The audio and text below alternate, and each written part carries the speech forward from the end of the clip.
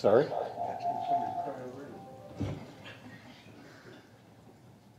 I'll call this council meeting to order, and for this time, please uh, silence your cell phones, iPads, any other technological device you may have, and uh, we'll rise, if you're able, for the national anthem.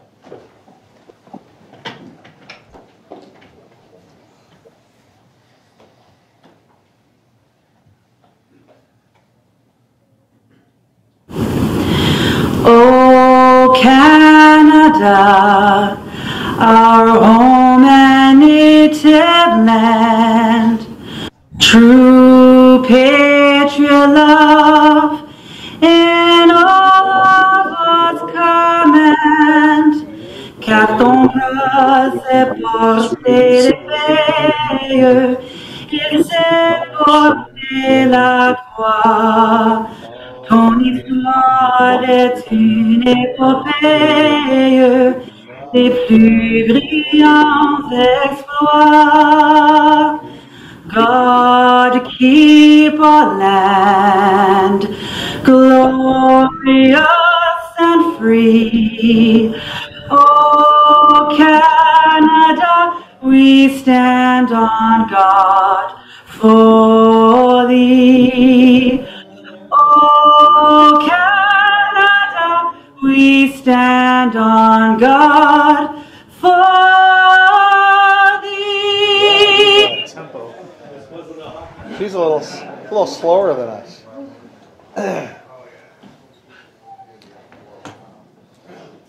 this time, I'll give our land acknowledgement.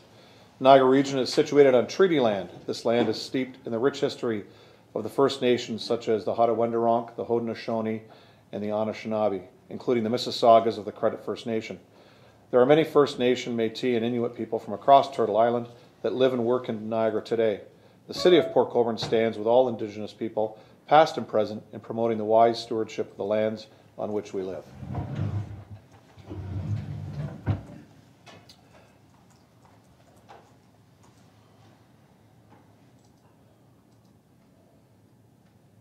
We have one proclamation this evening, Council, from Crime Stoppers declaring Crime Stoppers Month. If I could have Councilors Hoyle and Beauregard move that. Any questions? All in favor, please raise your hand. That's carried. Adoption of the agenda. If I could have Councilors Aquilina and Elliott move the agenda. The only thing I'm going to change, Council, is um, I'm going to move the mayor's report prior to the presentations, and I'll get into our presentations and then back to delegations. Any questions on the agenda or any other changes? All in favor, please raise your hand, and that's carried. Disclosures of interest, I have one disclosure of interest, for- or one counselor, for uh, Counselor Beauregard for items 9.7 and 9.8. Are there any further disclosures of interest? Okay. We have minutes, uh, three sets. I'm going to do these in block. If I could have Councilors Bruno and Bagu move uh, minutes for 7.1, 7.2, 7.3. First one is the meeting of council November 8th, 2022. Second is the inaugural meeting of council November 22nd, 2022. The third is committee of the whole budget December 7th, 2022. Questions on any of the sets of minutes? Seeing none, all in favor? That's carried.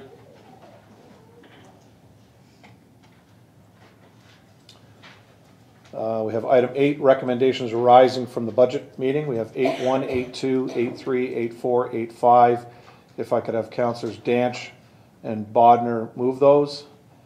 They are the capital and related uh, project budget uh, 2022-248, the levy budget 2022-245, the rates budget 2022-246, the rate setting to 2022-247, and proposed user fees and charges 2022-244. Questions on any of those? All in favor, please raise your hand. That's carried. The following items have been pulled for separate discussion this evening. Items 9.1, 9.5, 9.6, 9.7, 9.9, 9.10, 9.11, and 9.14. Any other items that haven't been pulled? Seeing none? If I could have Councilors Hoyle and Beauregard move the remainder of items, but I'm going to do these a little bit separately. I'm going to do 9.8 first for the councilors' um, conflict, and then we'll do the rest. So on item 9.8, uh, declaring the conflict as Councilor Beauregard, all those in favor? That's carried. And on the remaining balance of the items not withdrawn tonight, all those in favor? And That's carried.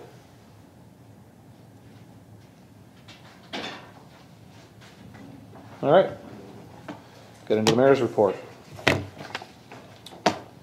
So it was an honor uh, for myself and for all of incoming council to be sworn in by Madam Justice Teresa Madalena of the Ontario Superior Court on the evening of November the 22nd, right here in council chambers.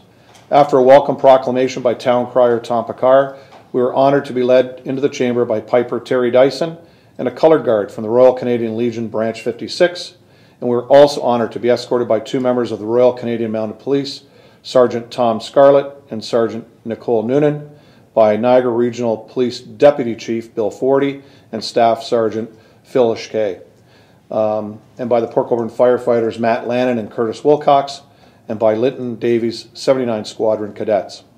Soloist Rene Bisson led us in O Canada, and it was a ceremony of great significance, and we are all so proud, grateful, and humble to serve the city of Port Colborne for the next four years.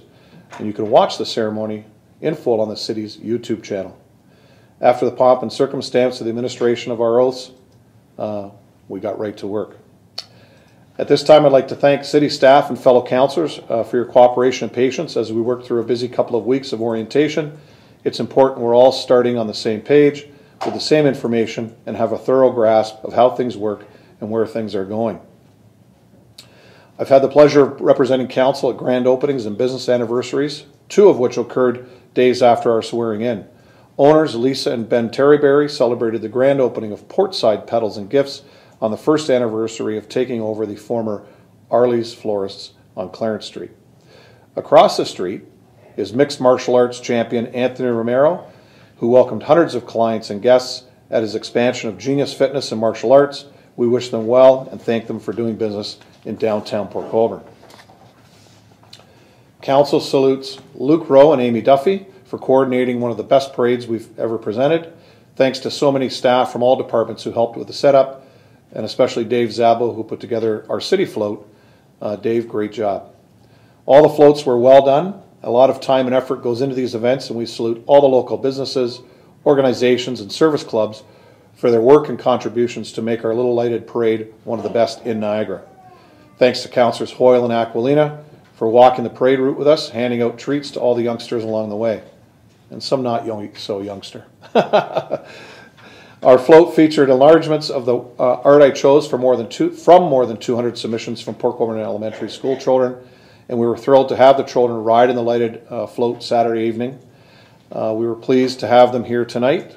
Uh, we are pleased to have them here tonight uh, to present them with their enlarged cards uh, of their art and to display in their homes or in their front lawns.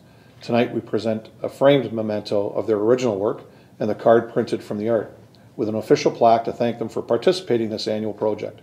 We're so proud of all the children who contributed Christmas art, and we congratulate all of you. So at this time, I'm going to go to the podium.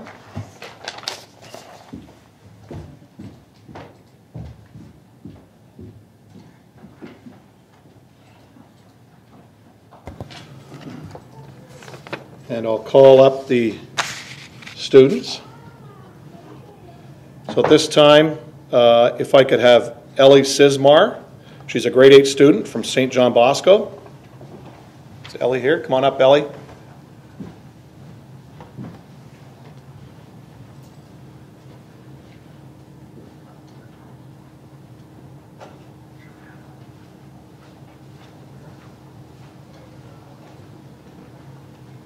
So I'm gonna take an individual picture and then a group picture in front of the wheel. Yeah, we'll do that. We'll have you stay.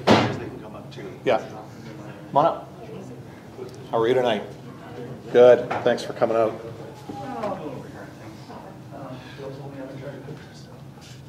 So, so this year we did something a little bit different. Normally, the mayor's card has been one card with a front uh, page uh, with one artwork, and then inside was a series of other uh, artwork that we chose. So we decided this year, uh, uh, Gail Todd and I, uh, my EA and Scott's EA, let's, let's really change it up, do something different. So we picked um, nine cards. Um, On every card is, is this big one here, uh, which you'll uh, hear about the person in a minute. It's actually got me in it, which is pretty funny. Uh, But each, each of the students received their own card um, with their artwork on the front, and then um, a little writing in the, in the inside. So this says presented to Ellie Sismar, grade eight, St. John Bosco Elementary School. It's a 2022 Mayor's Christmas Card Contest winner. Thank you. Now look at this guy. I'm good. Parents can take pictures too if they want, or family. Yeah, come on up. And we'll do, a- we're gonna do a group shot right after this. You wanna go stand in front of your, Yeah. you take that, and then stand in front of your card up here? Perfect. Good job.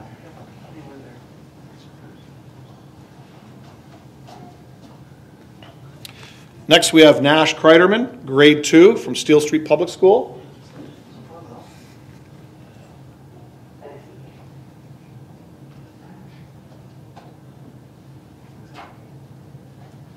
You look too big to be in grade two.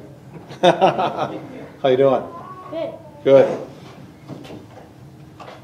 So, this is presented to Nash Kreiderman, grade two, Steele Street Public School, for the 2022 Mayor's Christmas Card Contest winner. Congratulations. Thank you. Want to look at this guy?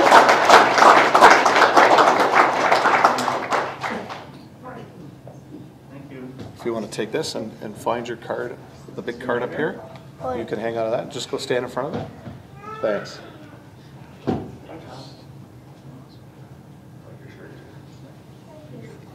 Next, we have Aubrey Koros, St. John Bosco, grade five. Aubrey?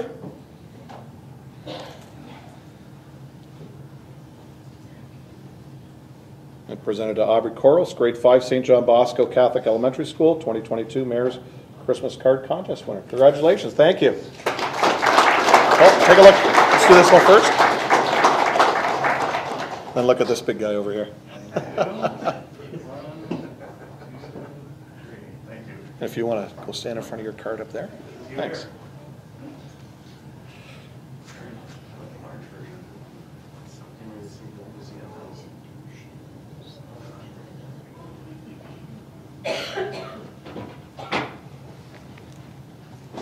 Next, we have Haley Moeller, grade seven, Oakwood Public School. Is Haley here?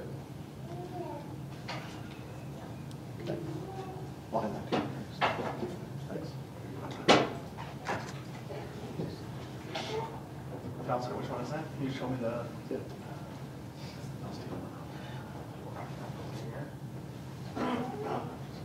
guys a little closer together, if that's okay. Next, we have Miles Price, grade two, St. Therese Catholic Elementary School. How's Miles tonight? Good? You can come right up here if you want. Yeah, yeah. Here, why don't we step over here where everybody can see us? Okay, big, big smile.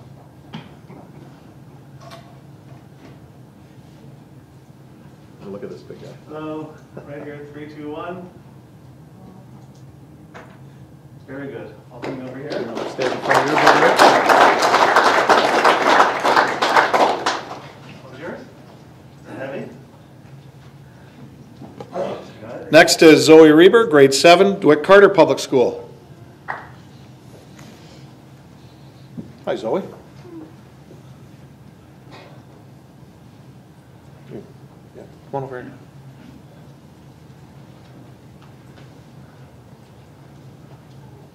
Come right up, guys.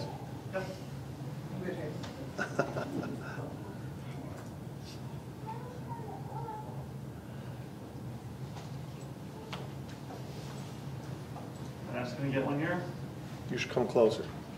Gail says you always stand too far away. Oh. I got it, I got the zoom. One, two, three. Got it, thanks. Okay, if you want to stand up by your card.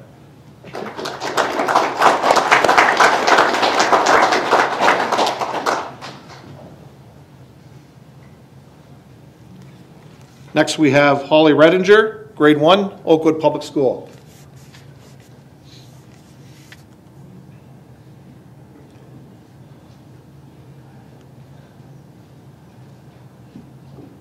Hello, Holly. How are you? Good. Good. Come on over here so we can get a good picture of it. Right there. There we go. She smiled. Just think of all the toys at Christmas. Just one more. Yeah. Ready? One, two, three. Click.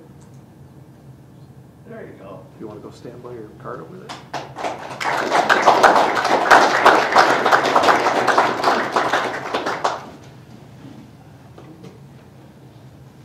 Next is Natalie Walker, grade five, St. John Bosco.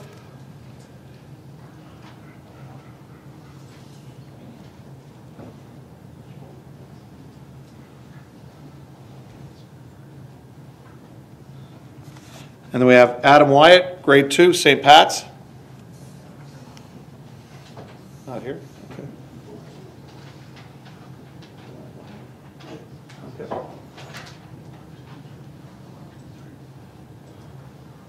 Group picture? Yeah, we'll get a group, group shot. Do you want to go? You might have to go. I think if you're big enough, you can hold your, um, your poster. Can you hold your big poster? What I'm gonna do is switch places with those, because you get a little closer, little closer to the mayor. Can you hold this? Mm-hmm. I bet I, I bet I could hold mine. Go for it. It's all you. And then bring it in a circle a bit. Do you guys want to hold your little picture or your big picture? Okay, right there. You want to stick with this one? I think it's the right size because the big one might block your face. And we won't get to see. So just come a little bit closer to the mayor. Yeah, come on in, guys. Squeeze right in. Squeeze right in, there we go. All right, squeeze in a little bit further. There we go. Okay, come on, parents and grandparents and aunts and uncles and neighbor that gives out nice candy at Halloween. Big smiles. Behind you there, Nick. Sorry, I'll be quick. Three, two, one. One. Okay. Sorry. Big smiles.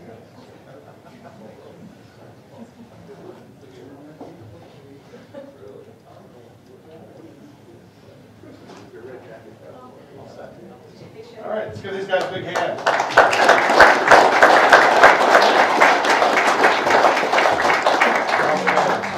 Uh, Scott, why don't we help the little. Oh, yeah, good idea. Take their, Sorry. uh, take their big card.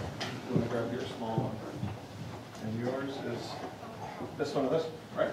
Yep. So this one's yours. There you go. Hey, hi. Good, how are you? Holly? Wanna take Holly? Sure. Okay, Want me this to carry guy. that for you, or are you okay to carry it? Let's see where your mom is. Everybody got it? Got Your small ones?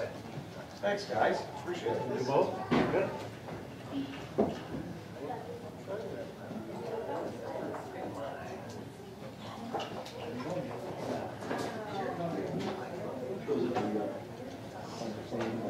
Okay, thanks.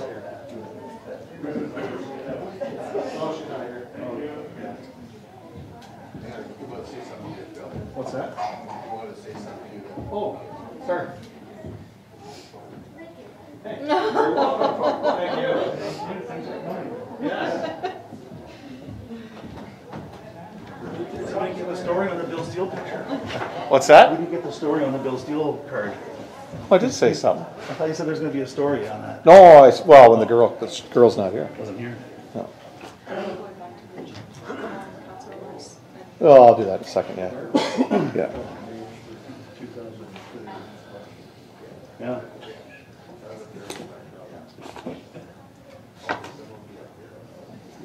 Why is it here? Is this a minor? No. Whatever. So again, we thank all the uh, students from across Port Colborne Elementary Schools that submitted this year. It was our biggest year ever.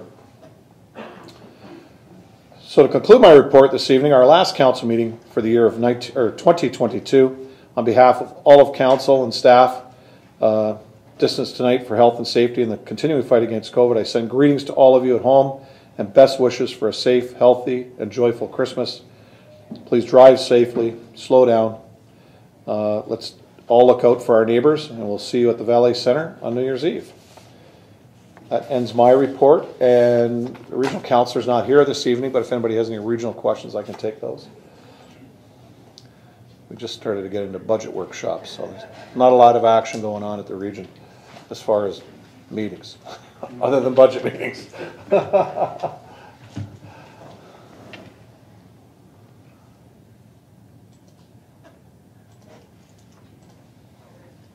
Okay, so we have two delegations this evening. Our first delegation is uh, Janet Oram. It's a petition requesting to reduce vehicle speed limit on Elm Street. Janet, if you want to come up to the podium here. There.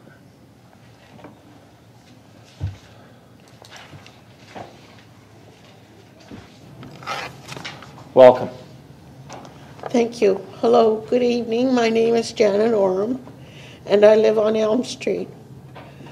I walk my dog on Elm Street every day in both directions, usually three times a day, so I am very aware of the traffic situation throughout the day.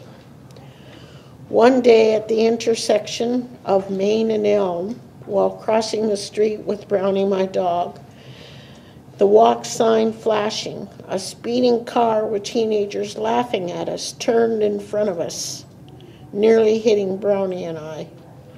Also, the apartment building on that corner has many senior citizens who cross the street throughout the day to go to the Avondale store on the corner.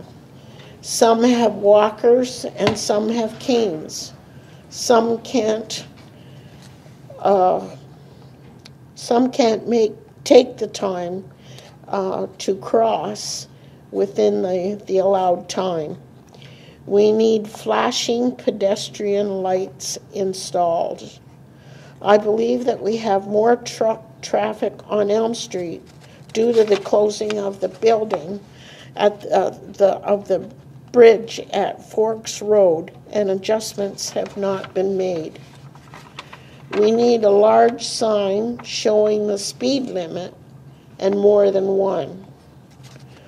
I have a nephew who lives on Elm Street, and he tells me that when the large trucks drive by his house, his house rattles.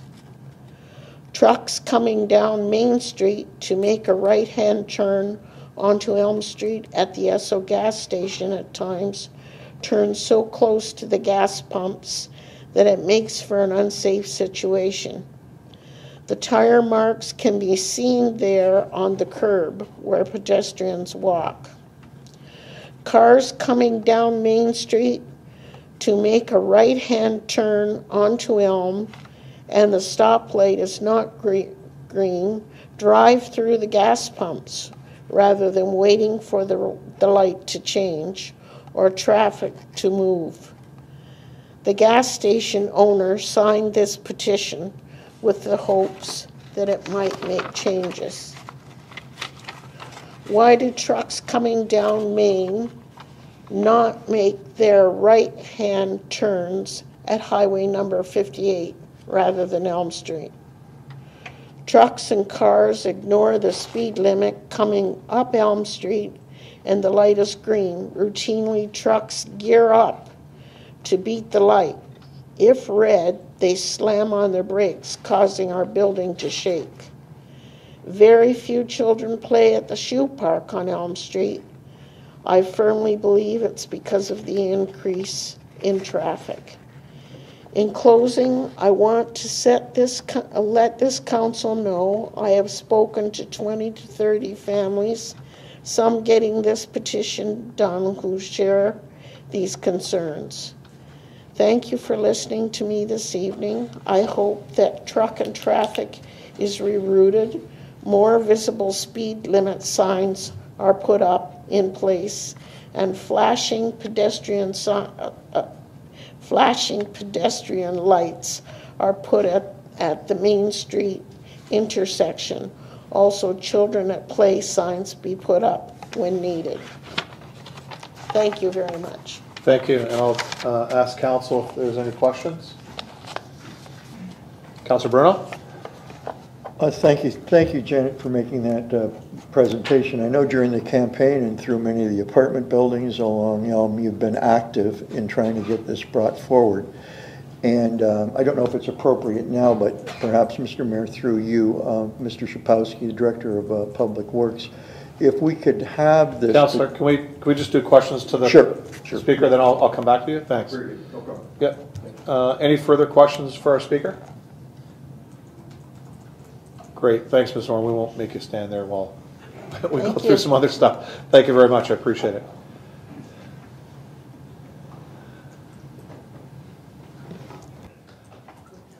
Councilor Bruno, to staff, thank you. Thank you, Worship, for the opportunity. Through you to Mr. Shypowskyj. I'm wondering if one of the ways to handle um, uh, Janet's complaint and that of the the neighbors along there, I know Frank uh, has been involved in this too with, uh, with the issues on Elm Street. I'm wondering if we could take that petition and try and address each one of them. I know that some of them uh, may be uh, regional or provincial with Highway 3, uh, the intersection part, but I'm wondering if, if you could come back sort of with a point-by-point uh, issue. I just wanted to add one other thing. I I spoke to Steve just earlier. Um, One of the other issues is a section of Elm that was left unpaved but approved a couple years ago because we believed the Humberson Builders property was going to plug in there. Um, There's a lot of ruts there that obviously Public Works identified a long time ago, hence the paving from Killaly all the way up to Charles. If we could maybe leave a smaller space there and can fix that, uh, that paving in that area, um, As well, I know I've had you all, Mr. Mayor, looking at this too. Um, I think there's some things that we should be doing with Elm Street, not to obstruct places like West Pier and others that need delivery, but certainly there are a number of empty tractor trailers uh, and empty um, uh, uh, trailers at the back that, that slam through there. Um, And some of that could be shave and pave, but some of it could be, you know, we have Highway 58, West Side Road, Killaly Street, a regional road, with the one section being um, ours. And those roads were built to handle this truck traffic. And I know some of Janet's complaints was, concerns were about speeding, but some of it certainly are about noise and tractor trailers. And so I'm wondering maybe if I could add in, uh, if Steve's addressing this in, in a few weeks, um, to also look at what could be done about getting um, truck traffic um, that isn't delivering on Elm to use 58 West Side Road in Killaly. So uh, I know that's a lot, Steve, to jam into, uh, and to camp on to Janet's uh, uh, presentation, but, uh, I mean, it's, it's pretty evident that there's a problem there. And uh, uh, heard it a lot during the campaign, and uh, saw the petitions in apartment buildings and, uh, and some of the names on there from the houses along there, so uh, perhaps we could address that. Thank you, Steve? Mr. Mayor. Thank you, Councilor. Through you, your worship, to council. So what, uh, what we'll do is we'll conduct uh, a typical traffic safety uh, review. So what we'll do is we'll review the roadway, determine where the signs are. I took a number of notes from uh, the delegates' uh, presentation as well, so we can address those concerns as they go through, as long as with yours, and then we can bring a report back to council on our findings. Um, We'll probably shoot for February, if that's okay with council. Make sure you include the region with that, because Definitely. obviously Main being there. Yeah. So the intersection is, is shared. I believe the lighting system is the region's lighting system. Um, so with regards to comments made about lighting, if we can include the region. If you need, um, uh, well, the regional counselor and I can work on it. I do sit on Public Works, uh, Counselor Davies doesn't, but, uh, he can still work within, uh, his parameters as a regional counselor too. The other issue, we'll take it to, um, our local staff sergeant to step up some, uh, radar, um, days in that area. Um, They may bring in the traffic squad for that, I'm not sure, but, uh, we could have them look at that whole, basically the, the four corner area and then back towards, uh, the downtown core and then as we go north on Elm. Is that all right? Okay, Counselor? So I'm gonna, I'm gonna ask for a motion to, to refer that to, to staff, for that report to come back. If I could have Counselor Bruno, Coun- Counselor Danch move that? Yeah, oh yeah, go ahead. You're okay to second it though? Oh, yeah, for sure, yeah, sure. And, you know, and- and, and I, I live right where you guys do, and uh, I'm on that street probably longer than some of you, but uh, I just wonder if maybe we could extend the walk sign there, because I know I've, you know, tried to hoof it over to the bakery or something like that, and maybe a little bit younger than some of them other guys, but it's a, it's a pretty quick walk, you know, and it, it's a busy intersection, there's no doubt about it, so if maybe we could look into that and add that to the, the list, I'd appreciate that as well. Thank you. Is that for Boston cream there, Frank? Yeah. Yeah, go ahead, Dave, or Counselor Elliott. Thank you, Mayor. Uh, Through you to Steve, uh, there are the portable speed signs that we had, there was a couple down by my house on Clarence Street. Um, Are they still available, and can we set those up on Elm? Just with that number flashing, and I've seen it in different municipalities, it's amazing how quickly people slow down when they see what the number is, and that may start to have people trying to think about what the speed actually is, instead of just flying along. If they're still available, I don't know if they are. Yeah, the, staff does move them around the city, so, uh, Steve can certainly look at that. Um, I went by one the other day, I can't remember where it was, but I did see it. Um, so, yeah, I think it was up there, wasn't it? I was with you. Um, yeah, so, uh, Steve, at your, you know, based on schedule, can you look after that too? Yeah, through your worship, what we'll do is we'll go through the traffic study first. We'll try to determine where the pitch points are and where the issues are. Uh, following with that, one of the recommendations may be to install those for a basis or collect more information. So we may determine that we need more information at that time. Because we'll get the traffic counts, how many people are actually driving through too. So we'll, we'll take that into consideration and, uh, put those up at the right time. Great, thanks, Steve. Further questions? Seeing none, all in favor? That's carried. Thanks, Steve. And thank the presenter.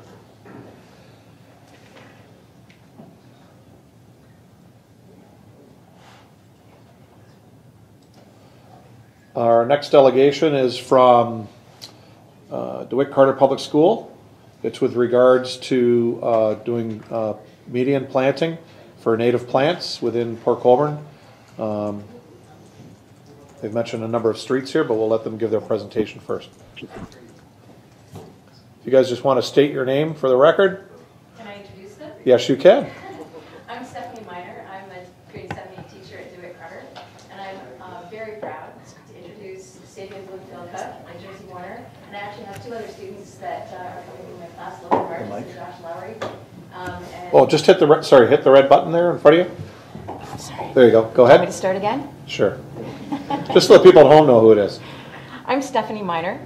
Uh, I'm a teacher, grade 7, 8 teacher at DeWitt Carter, and I'm very proud that Stadium Bloomfield Cook and Jersey Warner are representing our class in this delegation. Um, but also, I'd like to recognize and have um, Logan Marges and Josh Lowry here to support uh, their peers in this presentation.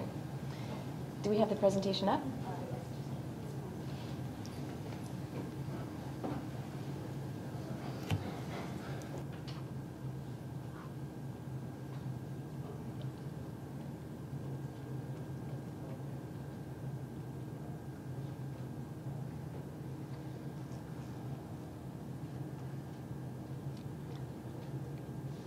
Would like to say that this, this comes from the students. I'm only here as a chaperone.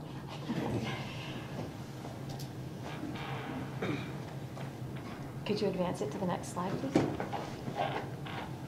So we're here to ask you to change. And we know that change is really difficult. Human beings aren't really hardwired for change. We like to do things the way they've always been because it's easy and it requires less work.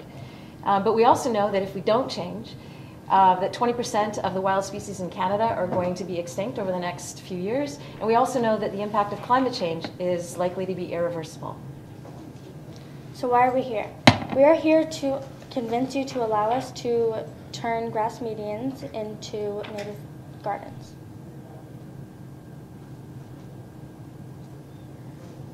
In September, we participated in a field trip where we looked at over 14 houses with native gardens and how the animals and insects interacted with the native gardens more than they did with the grass.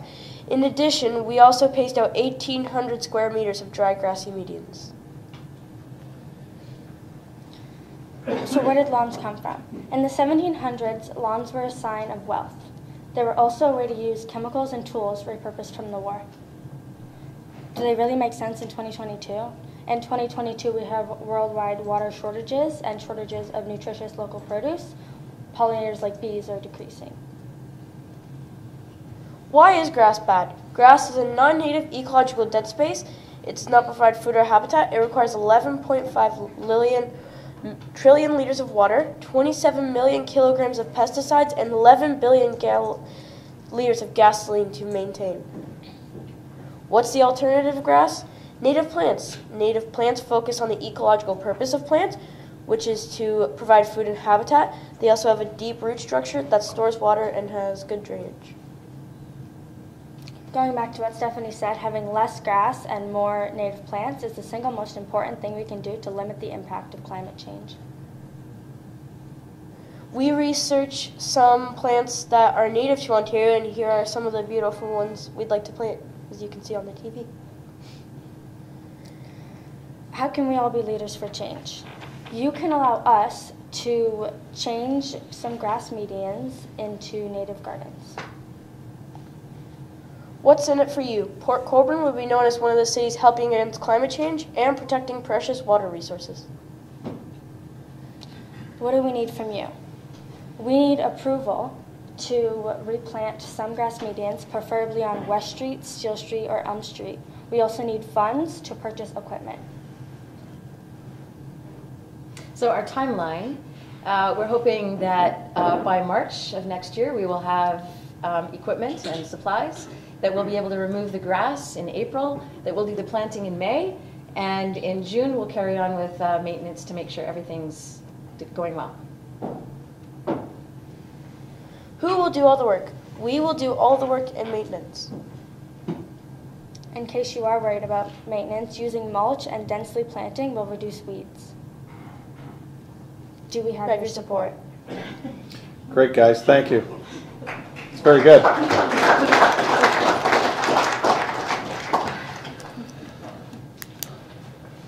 So being the winter time, which is a good thing right now for this, is that we have time to, to um, put our staff together with you guys to look at areas um, that this can uh, be done in. I know um, Dave Sabo, who's in, does most of our gardens, or all of our gardens, and leads specifically our summer students um, for the maintenance of that, has done some of this work in some of our parks around the city, uh, where it's uh, more naturalized plantings. So if I could, uh, before I go to questions, if we can ask council, and um, I'll have councilors Hoyle and Beauregard move that we refer this to staff um, to discuss this with the, the school and uh, come back with a, or it, quite frankly, I don't think we even need them to come back, do we? We can have the staff move forward and work with the school with this? Right. Um, I do suggest too, is there is our community granting. So I know you're looking for funds, is to put an application in. Um, I've got your contact information. I'll get uh, Gail Todd to send you the application so you can look at it. And you can submit that into our That'd be committee. perfect. And then uh, they can look at um, the merits of it, which I think it would be pretty good, but I, I can't say for the whole committee. But uh, at least put that in and uh, it could help uh, jumpstart uh, this program. So questions from council? Councilor Bruno, then Councilor Bagu. Thank you. Thanks for the excellent presentation. Halfway through your presentation, I thought of, and I know there are issues about city boulevards, I know there's issues about sight sightlines, but I got to thinking that this is, um, this could get modeled after like adopt a road. So could somebody adopt a boulevard and be the principal caretaker out of it, and maybe that those funds are in front of their house, but they come from their money or their neighbors, and this could morph into maybe something more than just um, the areas that you designed. So see if we could make this kind of go viral. And I don't know if in your research and that anybody else is doing this in Niagara, or did you, did you model this after uh, something you read or another city? This came as an initiative from the students after Oh, we did our field fantastic. trip. Mhm. Um, and I think what we're thinking is that it would be an ongoing thing. I'm a grade seven, eight teacher, so Sabian's in grade eight, uh, seven, Jersey's in grade eight. So as we move along, the, the grade eights would bring the grade sevens along, so this could be an ongoing project for DeWitt Carter. Good, thank you, Mr. Mayor. Thank you, Counselor. Counselor Bagu. Uh, Thank you, Mr. Mayor. Through you, uh, I had, this is your class on Charlotte Street. I live on Charlotte. I saw a bunch of people looking at somebody's yard and I think, wow, they must be studying the, the garden, which was, was your school. And I I commend you for it. Uh, You know, it wasn't too long ago, before I got on council, reading the paper, a resident was having a fight with City Hall because he put, he planted natural grasses on his whole front yard. And the city bylaw officials said it was against the bylaws, and there was a big squabble through the newspaper whether he was right or wrong. It was some people call it weeds, some people want to see the grass, and uh, it's amazing how far we have come. You know that this is what we actually really want, and uh, I would love to see it expanded with uh, your school, the other schools, and uh, I think it'd be great. I have some great leaders in my class. I'm sure we could take that on. Yeah. And, and actually, I hear you're a great teacher. I'm a member of the library board who's also a teacher at your school, and she talks very, very highly of you. How you're getting the kids uh, really excited about you know climate change and stuff, and how they can fix things. And uh, I commend you very much for it. Thank you. Great, thank you, Counselor. Counselor Beauregard. Through your worship to the presenters, uh, thank you for your presentation. I'm just curious as to uh, the reasoning for the location of these, uh, the particular streets that the request is for. DeWitt Carter's on the east side. I'm curious as to why no On- locations on the east side were. On West Street, there was like a long stretch of grass, a grass. There's a long stretch of a grassy median, and I we just I think that we could change that to maybe a native garden because the native garden would help more there because it's by the water. Okay. And what about the other two? The other two were just like I don't know, but really. It's okay. They were a higher visibility and higher traffic areas that we thought it would be nice to have the work showcased where more people could see it. and where more people would enjoy it because those streets are like roadways and like sit in like neighborhoods. So if we put it there, it, it would somebody would notice it and it'd look Okay. nice. Thank you. Good, thank you, Counselor. So if it's anything like the mayor's Christmas card submissions, our, our paint a snowplow submission, which DeWitt Carter won the first year we did that, um, with the challenge that uh, Counselor Bagu mentioned, this could morph into something pretty good. Um, hope so. The schools are really getting involved more and more in what's going on within the city, which is a great thing. So, and I think working with our staff and, and especially at this time, Dave Zabo, um, you know, we, we've been able to actually garner some free product from um, different organizations across Ontario, especially with regards to the Carolinian forest that we have here in Port Colborne. And we've planted a number of trees uh, at Cedar Bay Park uh, with regards to the to those um, because that's a Carolinian area. So he has a good handle on who out there may have some great uh, product that can go into the ground for us.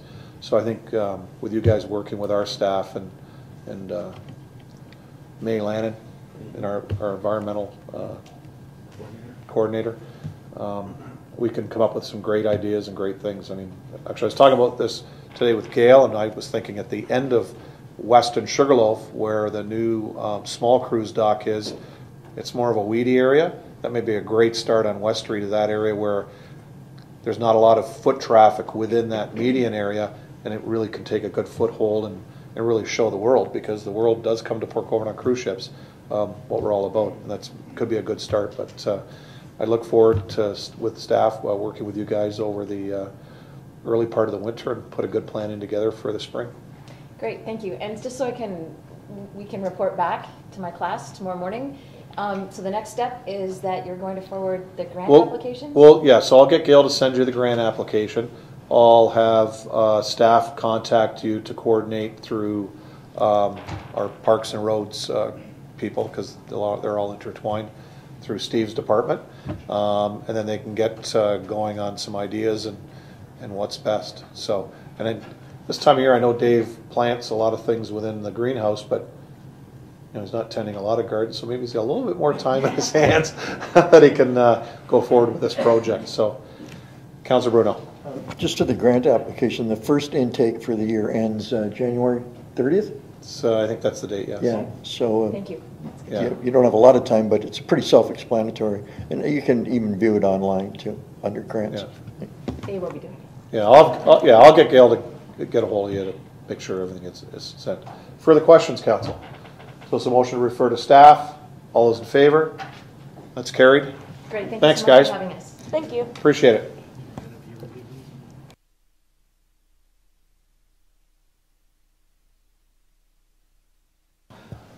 So next up is uh, staff remarks. Uh, Any staff online that uh, have anything for council?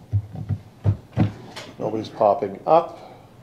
Staff in-house tonight, anything for council? No? Okay. Just do it. Oh, sorry. Sure, through your worship to council, and mostly just to get this out over the air. I know our um, Metroland reporter, Nick, is here today, and folks watching on YouTube, there is the planned City Hall closure from the end of business on Friday, the 23rd, returning to the office on Tuesday, the 3rd of January. We are putting that out through all of our media channels, so this isn't the only announcement. Um, Library and museum do have some hours in there. Recreation facilities do have some hours in there, um, such as the Vale Health and Wellness Center. And last but not least, and we are making sure that we communicate this uh, very well externally, the elevator at City Hall is going to be out of service for planned maintenance from Thursday, December 15th, two days from now, until we think the 20th of January, but we're hoping it's a little bit shorter. And uh, as uh, we're going to make alternate arrangements for anybody who needs to access the second or third floor to do business with the city. And we thought the best time to do that was when there already is a week of closures so that there's minimized disruption to the public. Great, thank you.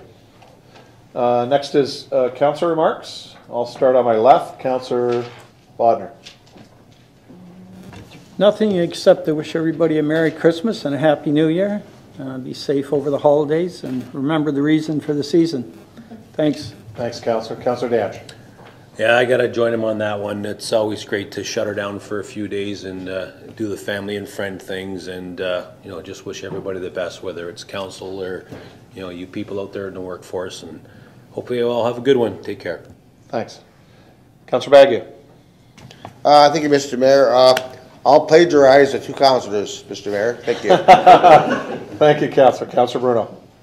Uh, Thank you, Worship. Uh, uh, Ditto uh, to my former fellow colleagues um, on, on Christmas and a, and a happy holiday season and New Year. I did have one um, item, it's a thank you um, to the chief uh, and his um, bylaw staff and to the uh, firefighters. A Couple things. uh, uh, Had some issues which they quickly responded to, uh, boarding up and sidewalk, sidewalk issue on uh, George Street in front of the old Lutheran church there. But one of the ones that was brought forward to me by one of the residents of uh, 119 Neff Street apartment building, there was, uh, on November 19th, uh, was the morning of the storm. And an elderly lady there uh, went out to shovel out her car before the um, plow came through. And she fell and hurt her shoulder, and this was like 7:30 a.m. Uh, Lots of ambulance calls. Um, Fire department got called, they were there first, the ambulance was on a 35, 40-minute delay. And uh, Chief, your guys came, um, kept her calm. Uh, She wishes to thank you, she did break her shoulder, Um, she's on the mend, but uh, she wanted to um, express her thank you, and I wanted to too, having been there and uh, was able to get hold of uh, someone really quick there, and they were there within a few minutes and kept her warm, kept her stable until the ambulance arrived about 20 minutes later. So kudos to you and your staff, and please pass that on. And Merry Christmas. Thank you. Thank you, Councilor. Councilor Elliott. I'll just add my best wishes for a Christmas, uh, happy Christmas season to everybody. Um, And again, kudos to staff and all of the people that entered into the uh, Christmas parade. Um, I watched it from the corner of uh, and uh, Clarence, and we had family that came down and joined us. They could not believe how many entries there were and how good it was. And they had a nighttime parade in their town. They're from Kingsville. Um, they said our parade completely outshone what they have. They, uh, they were so happy that they had the opportunity to come. So kudos to everybody that did that. Kicks off the Christmas season. And um, I just hope that everybody has a, a great holiday. Uh, be safe and enjoy your time with your family. Thank you, Counselor. Counselor Aquilina. Uh, Thank you. I'd like to uh, wish all the residents of Port Colborne uh, happy holidays and to uh, City Hall staff uh, the same. Thank you. Counselor Beauregard. Your Worship, uh, I'd just like to give kudos to uh, Public Works staff, uh, Mr. Shypowskyj, Director Shypowskyj and his, his team for the work they've done on Wellington Avenue in terms of, Wellington Street, sorry, in regards to the um, speeding, that, that, in addressing speeding and putting uh, traffic calming measures in place. I look forward to the report uh, of the statistics that are going to come from that. So, and then, like my fellow counselors, I would like to say Happy Holidays, Merry Christmas to uh, all staff, and as well as the residents of Port Colborne. Thank you, Counselor. Counselor Hoyle. Yeah, I'd like to say uh, Merry Christmas, Happy New Year to everyone. Uh, I'd like to thank staff for uh, uh, dealing with all the multiple questions I've thrown at them in the last uh, couple weeks as a newbie. Um, but everyone have a safe holidays and see you in the new year. Great. Thank you, Counselor. On to staff reports.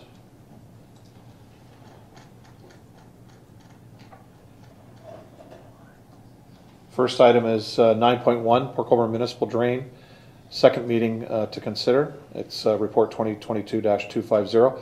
We do have a motion, which I'll bring uh, after. We do have Paul Marsh, is an- our engineer from EWA Inc., and he'll be providing a presentation. And then we have a couple delegations after that, so. uh, Here's Alana. Alana wants to come forward. Thank you.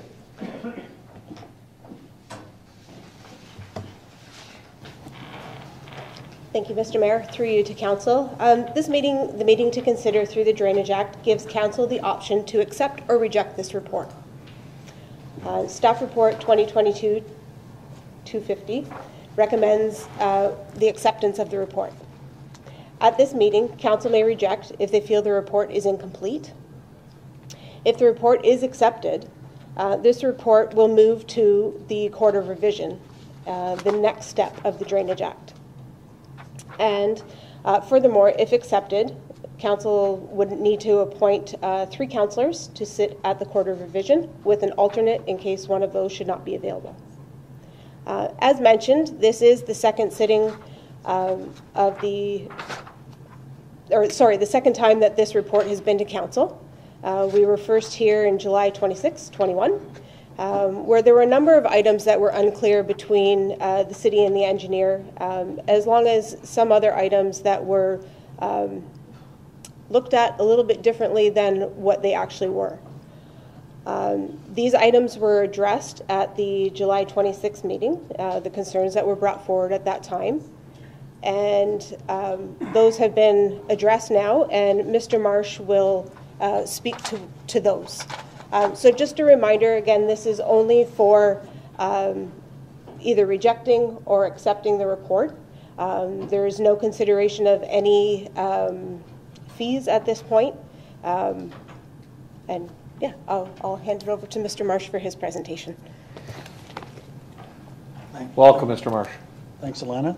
Um, Mayor Steele, members of council, landowners within the Port Colborne watershed, and my sympathies to anyone who comes after us in the agenda that has to get through this presentation.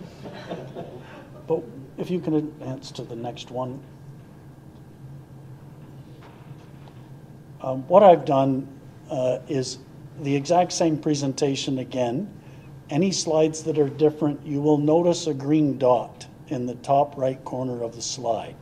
But with your permission, recognizing that some have already seen it before and some have not, I'll go through the whole thing again, but very, very briefly on those slides that are unchanged. Um, So that, just the, the agenda there is fine. So there were five things that we were directed to revise in the report. Uh, Those actions, number one was, there was a discrepancy between one of the assessment maps and one of the CAD maps. And there was an out-of-date roll number on one of the properties. The CAD map was updated so that it's the same as the assessment maps. Since this was done almost a year ago, undoubtedly, there are still further changes, but for the purposes, purposes of the report, the assessments are all as they are presented. The second one is the Port Colborne Branch Number One. We were asked to review the catchment boundaries, given that they were originally drawn based on 2012 orthophoto information. We conduct, actually, the City of Port Colborne staff conducted a, a survey. I walked the individual property myself, and we made a revision in the boundary.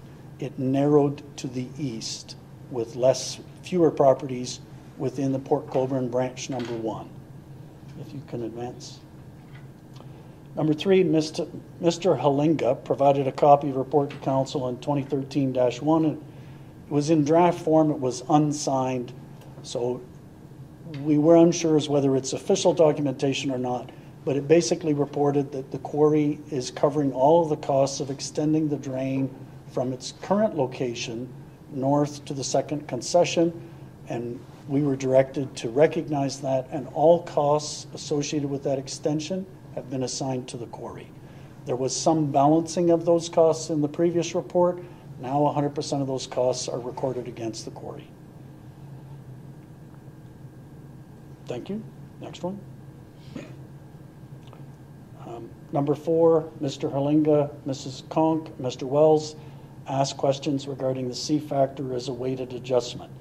The C factor is used in order to represent how much runoff from an individual property is generated, and it's used in the calculation of the individual assessment.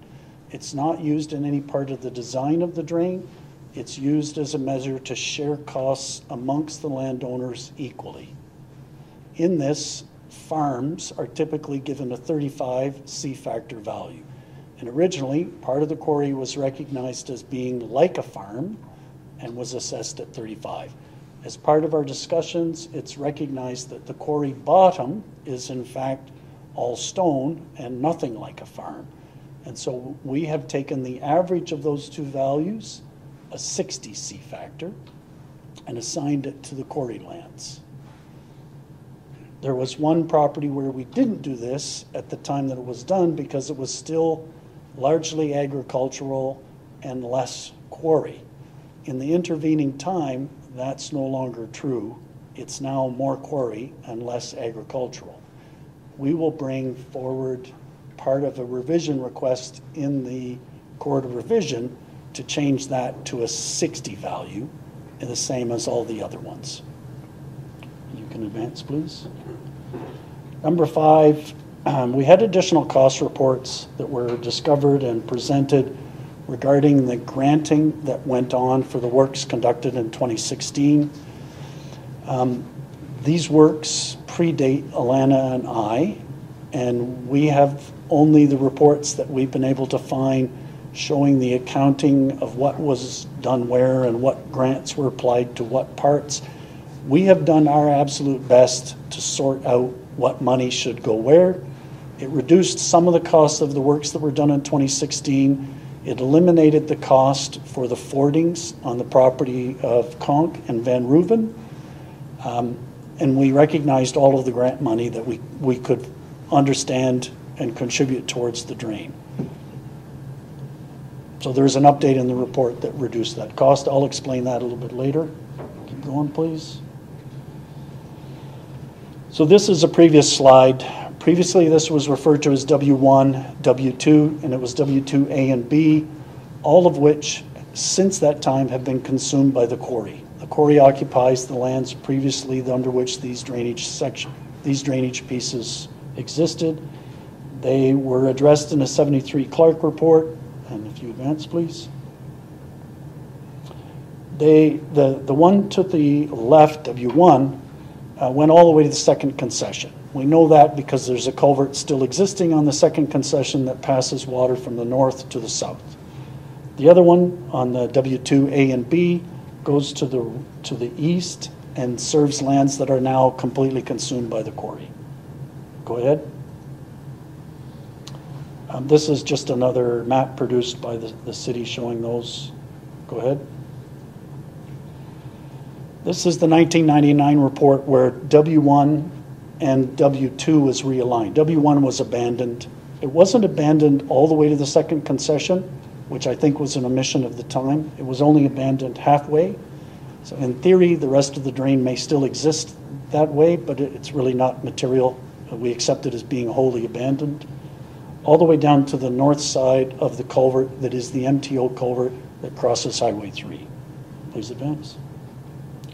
This is what the realignment that was done in that same report. It introduced a wiggle in the drain so that the quarry could abut right up against their property. Go ahead, please. This is a 23 report that was brought that abandoned W2B and changed the boundary for lands that flowed west and lands that flowed east. And it was to allow the quarry to continue to quarry those lands. Um, You can see that to the right, there is the Mitchner drain shown. This will be the subject of a future report that I'm currently working on that deals with those lands that are now expected to be consumed by the expansion of the quarry. Uh, Next one, please. Um, This is about the 2016 work. This, it's around the Conk and Van Ruven property.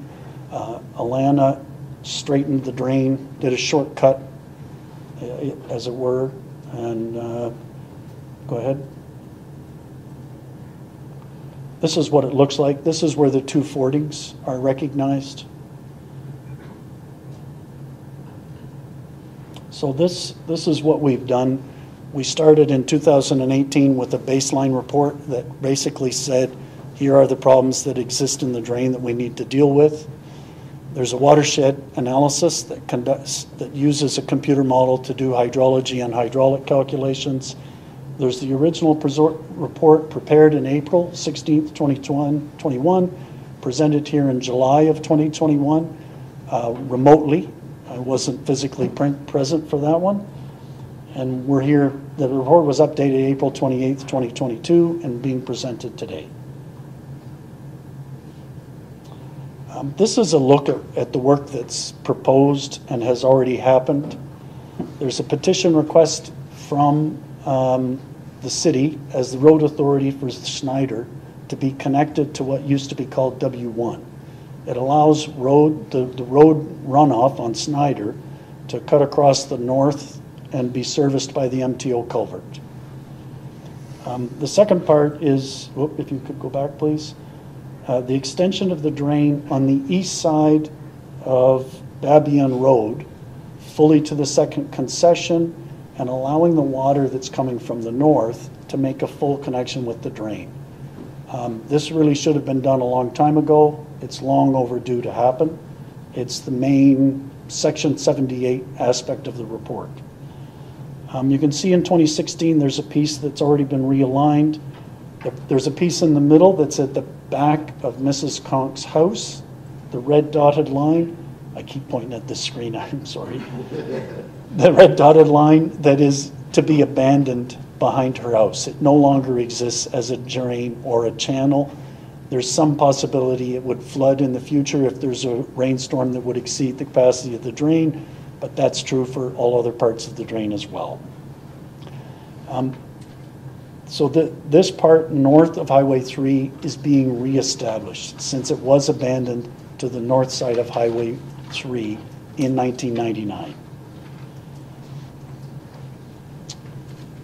And the only other part is the stuff to the east that's now wholly consumed by the, the uh, quarry, W2 and W2A and W2B. Go ahead. We did revise some of the watershed at the very north end based on information we collected and also reviewing the uh, contour lines from the 20 2012 data collected by the region. Go ahead. Um, This is from the report. It details the proposed work in a little bit more um, detail. Uh, Go ahead, please. Um, Two things in this. One, uh, we have to readjust the culverts at the intersection of Babion Road and the second concession to ensure that the water flows to the east side of Babion in order to proceed down.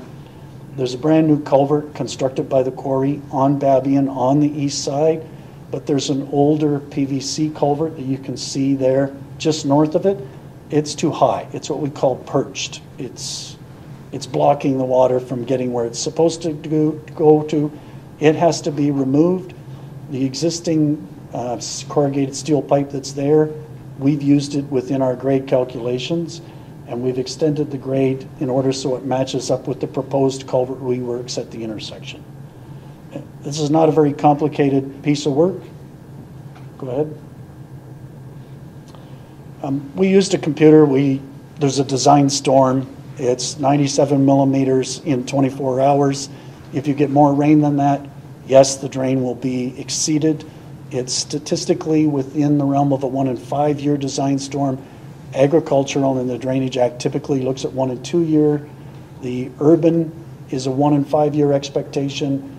We've extrapolated that to the to the rural area as well, recognizing that in many of these watersheds, they're almost as urban as they are rural anymore. And so we're using a higher standard. This drain meets that standard based on the computer analysis. There was an actual storm that delivered 104 millimeters in 16 hours. Uh, Mr. Van Ruven shared his, his uh, gauge results that corroborated this. These results are actually from the sewage treatment plant a gauge that's in Port Colborne here. It record, it records the rain on a five-minute interval, which the one out on the pier does not. It's on a daily record. Um, There's, statistically, the storm lines up between a 1 in 25 and 1 in 50-year storm. Go ahead. Um, This is what the computer model looks like. I have to say that the grade eight's presentation was a lot more interesting looking than mine. Uh, Keep going.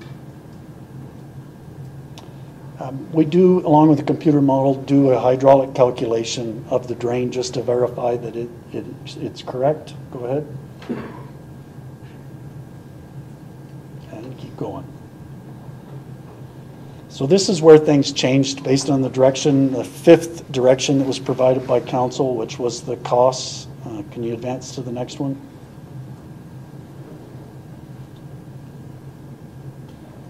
This is the old reporting of the cost. In advance, please.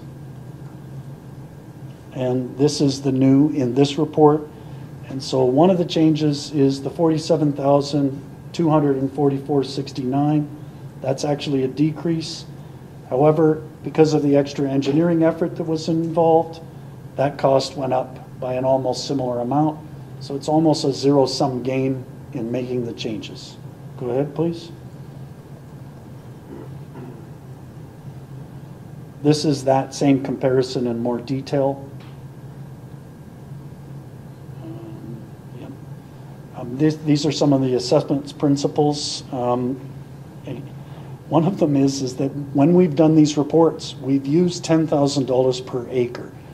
And um, we use that as the recognition of the agricultural value of land, and we apply it everywhere, regardless of what, um, what's the provincial agency that does the, the land, MPAC, regardless of what MPAC says. We use an agricultural value everywhere. However, in the last two years, I'm not sure that ten thousand an acre is exactly representative anymore. Where our family farm is, farms are now selling for sixteen, uh, sixteen thousand an acre and north of that in some cases.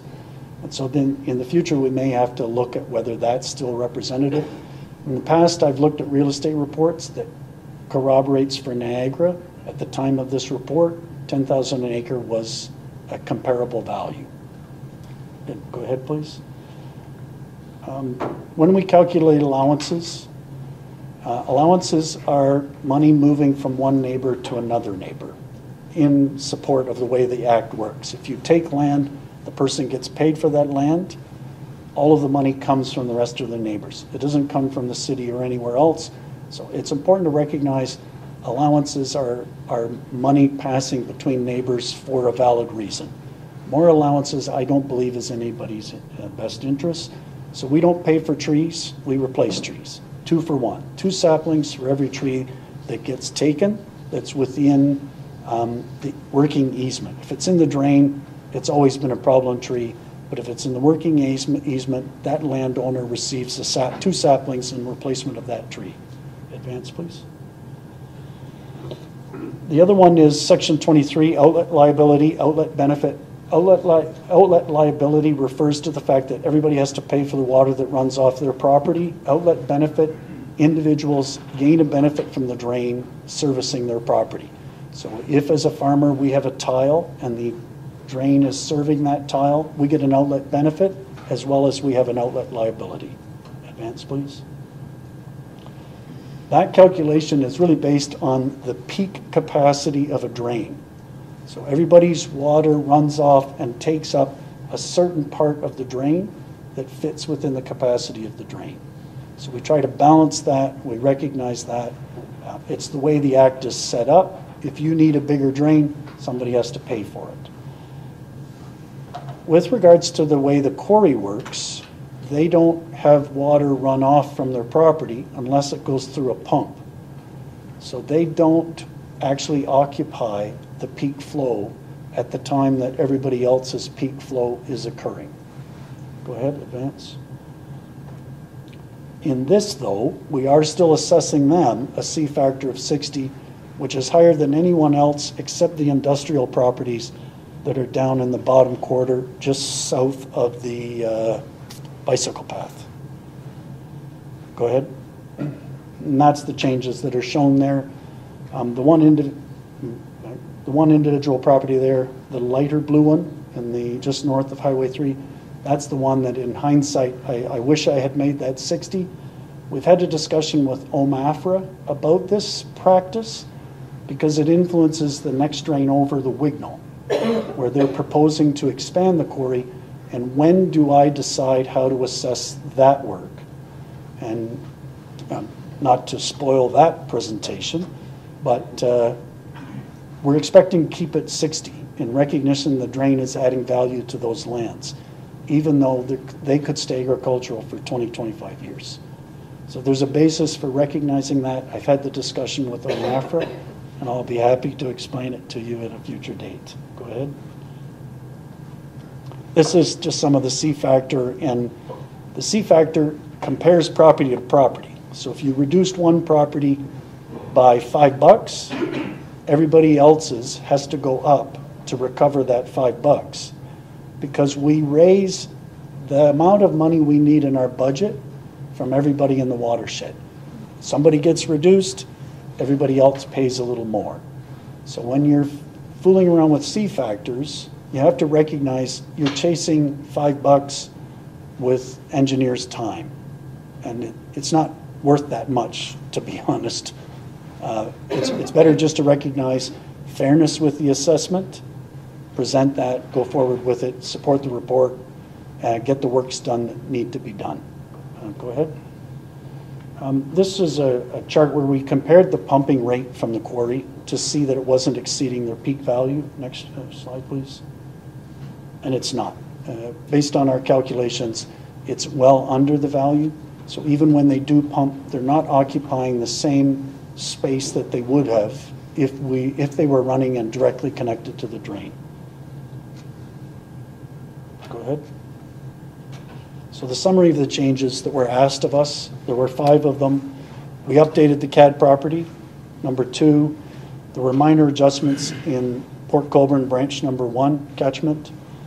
The costs for the extension of the Port Col- Colborne drain were completely assigned to the quarry with one small modification in there.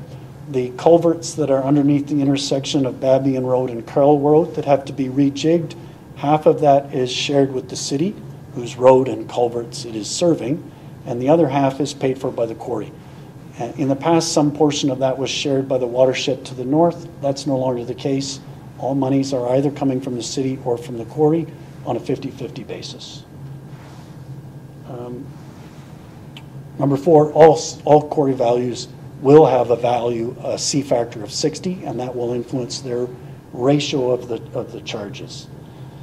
Um, These are the, some of the tables that Alana and I were reviewing, and it's showing that uh, the fordings are, are assessed at a value of zero now. They were $750. um, And we, we believe a grant covered that cost. Go ahead. That's the sum total of my presentation. Thank you very much for your kind attention tonight. Thank you, Mr. Marsh. Council, questions with regards to the report from the consultant? Councilor Bagu. Uh, Thank you, Mr. Mayor. Through you to Mr. Marsh, good to see you again. I think I heard you correct twice, but just for clarifications, because it's been a while Yes. since we talked about it. If there's a change of assessment on somebody's property, you said the neighbors pay the extra fees. Is it the people downstream, or is it all people upstream and downstream that pay for that? Yes, it can be both. It can be both. Yes, so with an allowance, that can go into a pool that's get allocated to the entire watershed. And so, depending on what the allowance is for, so in the case of the branch number one, where we're extending from Highway one over to Snyder Road, and we're paying for an allowance to extend that drain through that area. Not the original part, because we're presuming that was paid for once before, when it existed before the quarry did. But the last bit that gets to Snyder, we're paying a small allowance for that. That only stays within those landowners that are part of that branch number one catchment. It doesn't go to the wider area. Counselor? Thank you, Mr. Mayor. Great, thank you. Further questions? Counselor Bodnar. Thank you, Mr. Mayor. Through you to the presenter. Um, On these drains, as anybody involved would know, we had uh, a number of engineers work on this besides yourself. And um, would it be safe to say that at the Court of Revision, that we could deal with any adjustments to the costs of either both Weeb or AMEC, or either one of those at the Court of Revision if we so choose, who's ever on that Court of Revision? Marsh? Through, through you, Mr. Mayor, and Councilor, you are correct. The Court of Revision can make those adjustments. And in fact, uh, the Mitchell report, um, this was done. Yep. Okay. Stay tuned, I think it might be done again too. Thank you, Counselor. Uh, You're all set? Yes, I may have more questions after we hear the presentations of, of Mr. Marshall. Good, thank you. Seeing no further questions, so we do have two delegations at this time, um, but don't go anywhere. Thank you.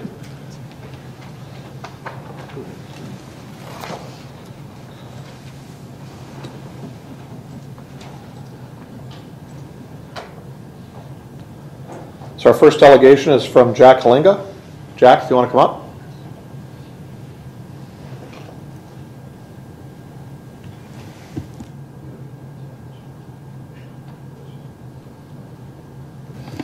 Welcome, Jack.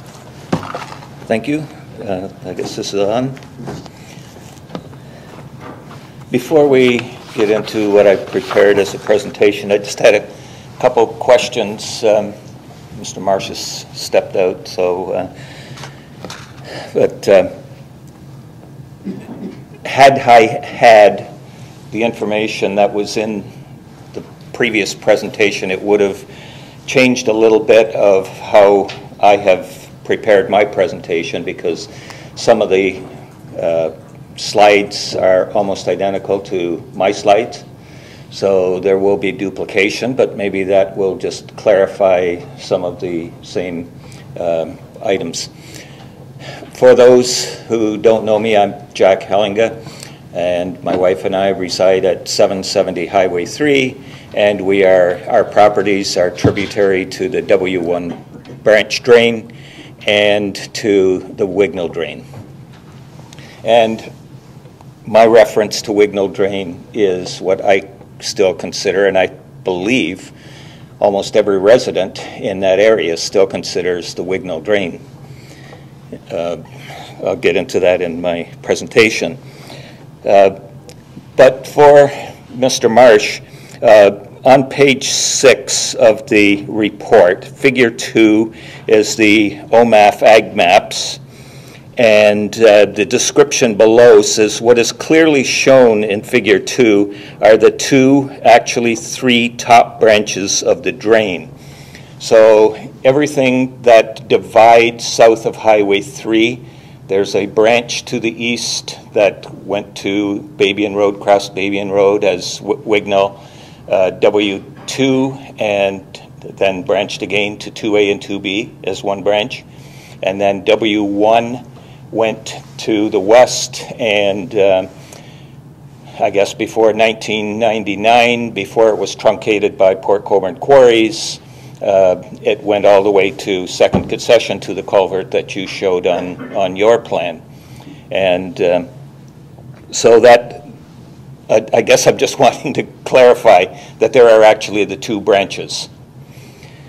Uh, in this report, the east branch is called the main drain, which changes how the drainage areas to each are assessed.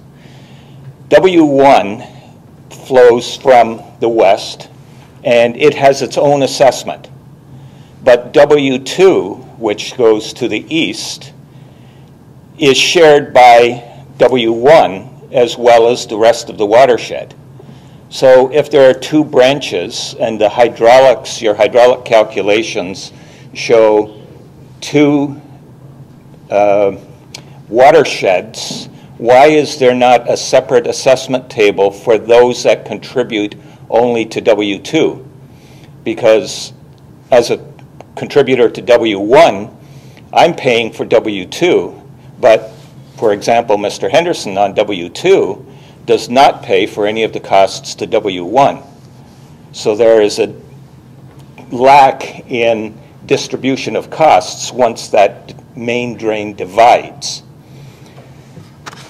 The um, going back to 1979, when R.V. Anderson wrote their report, the stationing for W1 was conti continuous from the main drain and W2 started at the intersection and started at zero again separately. So back in 79, they recognized the west as the main drain, even though the, the work was shared, there was no separate assessment for W1 or W2 or the main drain. Everything was lumped together. But back then, the west was the main drain, and now it's considered the, the east is the main drain.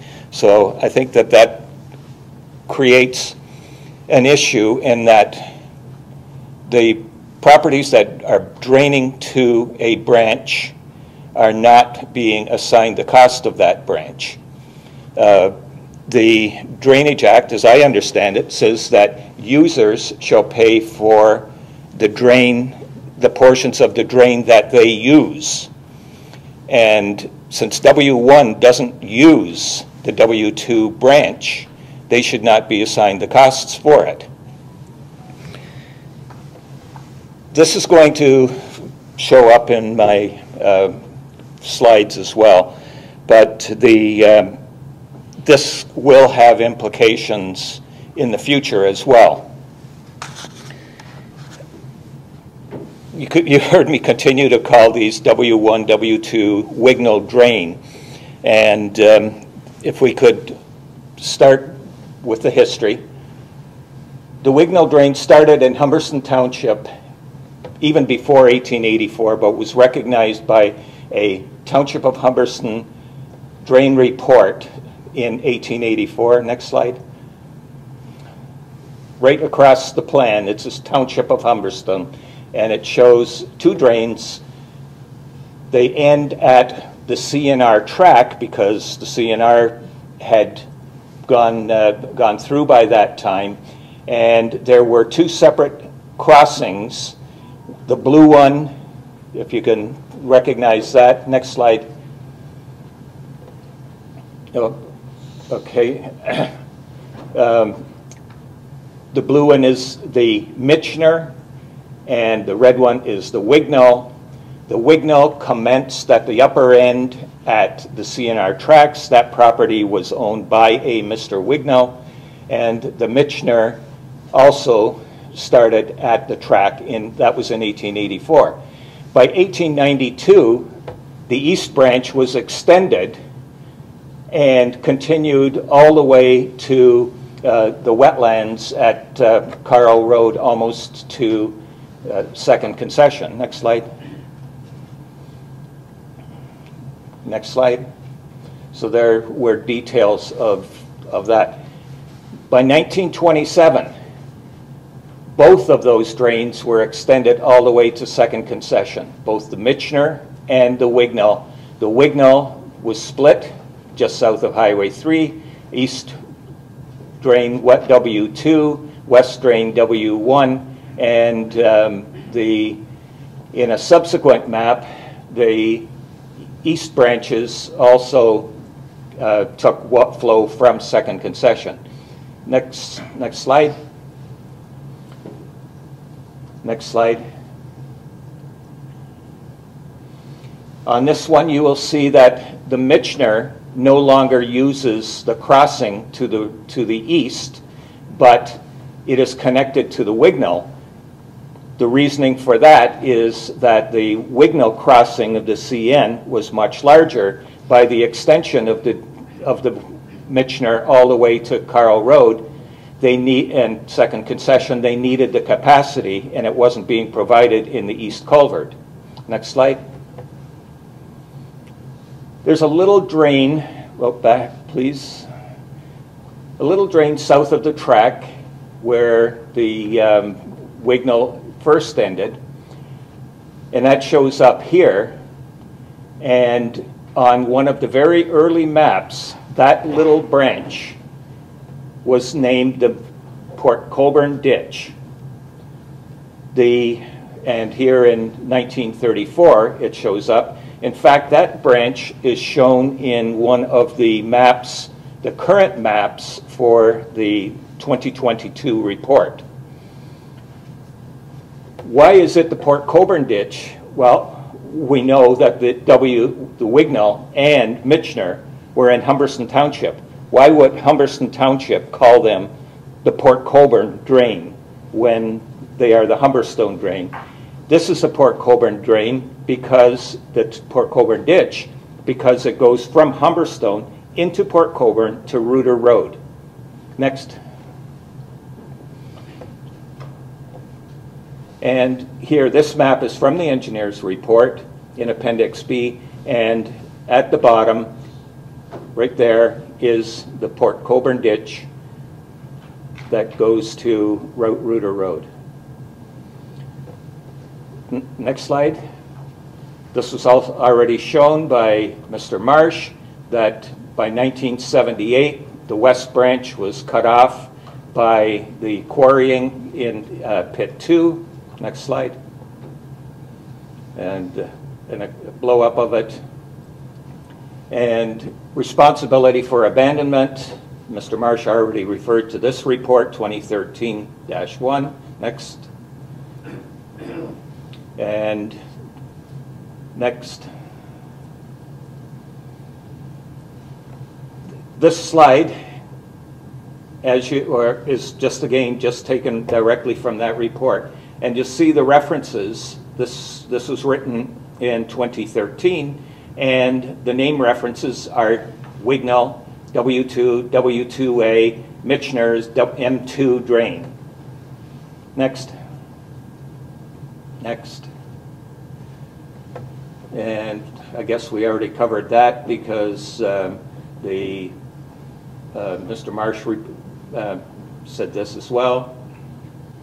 And um, second concession was tributary to the drain. Uh, second concession at Babion Road, the roadside ditches were connected to it uh, or to low spots in the field. Uh, and subsequent drainage, uh, the ditches on second concession at Carl Road, actually connected to the drain that went south on Carl Road and, um, and across. And, um, okay, the uh, crossing of second concession at west, on the west side,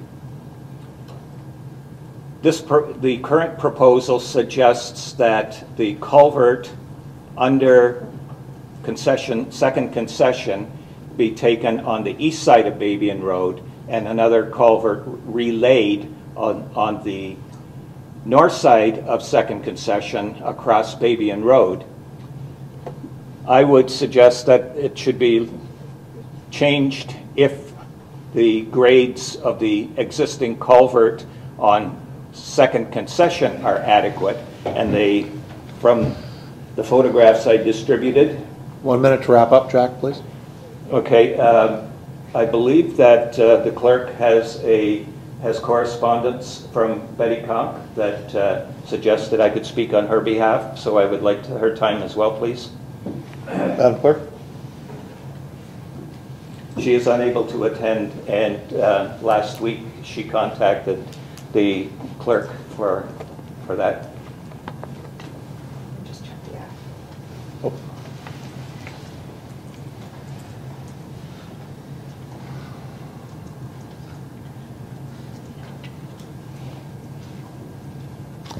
Through you, your worship, I understood that this presentation was on behalf of Ms. Betty Conk, um, so we will have to limit the presentation.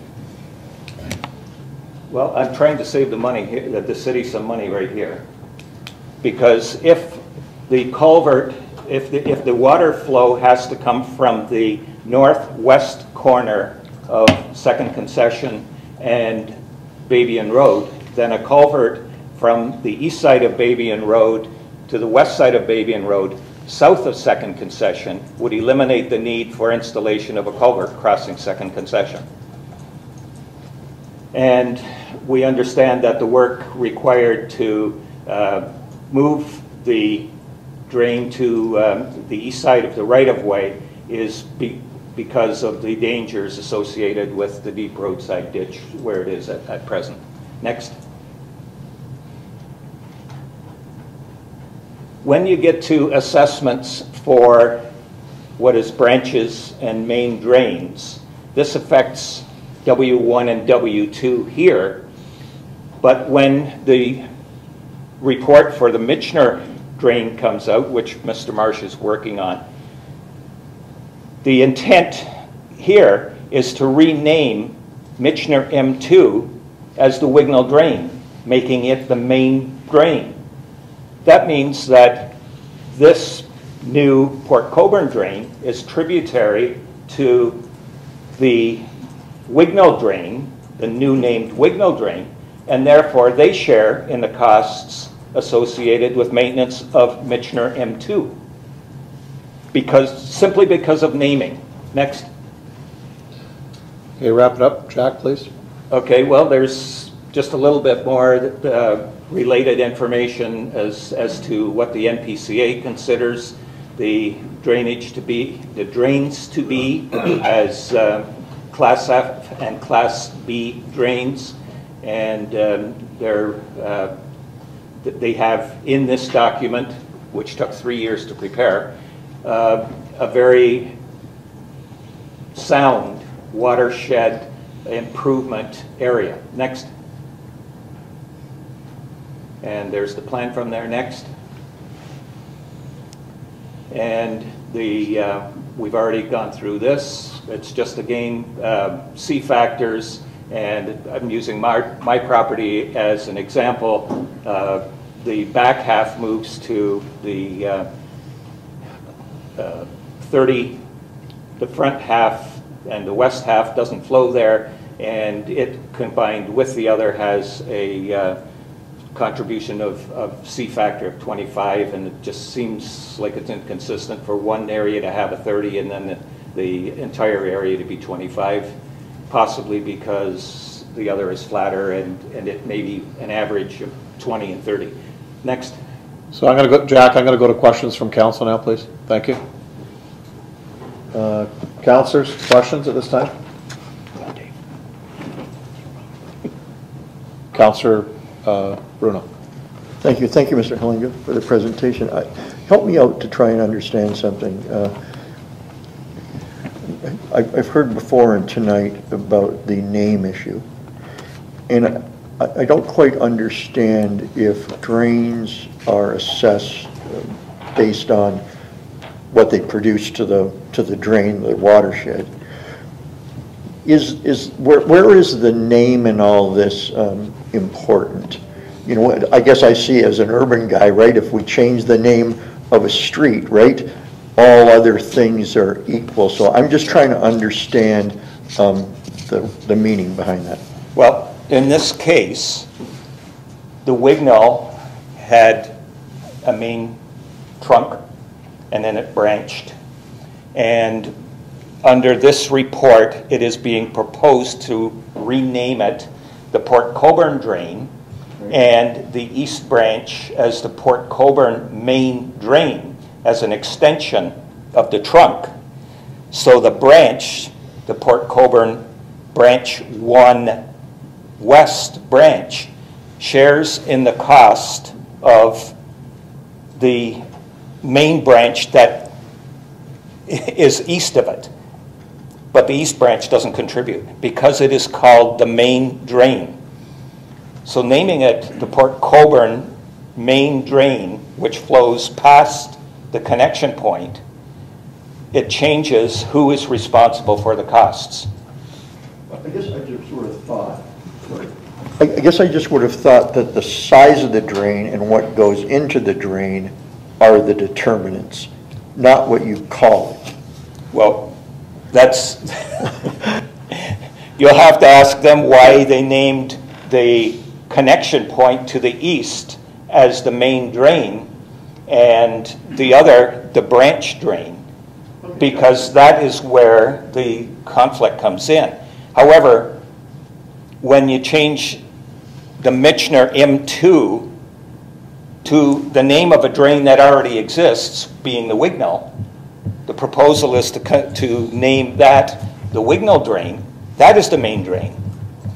And a continuation of the drain from the lake under the tracks and to the extreme west to Humberstone Speedway. And that is proposed to be the Wignall drain, which makes the Port Colborne drain a tributary of the Wignall drain. So now it's a tributary, now it contributes to the cost of the Wignall drain, which is not a branch, it is called the Wignall drain. So it is not, I don't know, I have not seen the Michener report, so I have not seen the new Wignall report to know how the costs north of that connection point between Port Colborne Drain and Wignall Drain are which properties are assigned that cost. But I know for a fact, this report suggests my property in, in the West Branch contributes to the cost of work done upstream of the connection point to the main drain. But properties up there on that portion, and Port Colborne Quarries pump to that drain, that portion, they don't share in my cost towards the W1 drain. So that is, that's part, that is what the naming does. So do- does the Court of Revision then not deal with um, your contention and the change in your, I don't know if the name change is, okay, is p- under the purview of the Court of Revision. thank you. Great, thank you, Counselor. Further questions? Counselor? I think Jack alluded to that we're going to have to ask Mr. Marsh about the name change and how it actually does affect, but I get what Jack's saying. If he's paying for that section and they change the name where those people may have shared in that, and now they won't have to because it's the main Wignall, or close to that anyways. You just want to spread the pain into people that you are also, you're paying for them, but they're not paying for you. Is that kind of the, It's, it goes further than that Yeah. because it will happen all the way down to the connection where the Mitchner was attached to the Wignall back in 1934. right, yeah. Okay. Thank you. I'll Other ask questions? Mr. Marsh that, thanks. Okay. Great, thanks, Jack. Any other questions? You can Go go to my last slide, thank you. Thank you. Our next delegation is Harry Wells.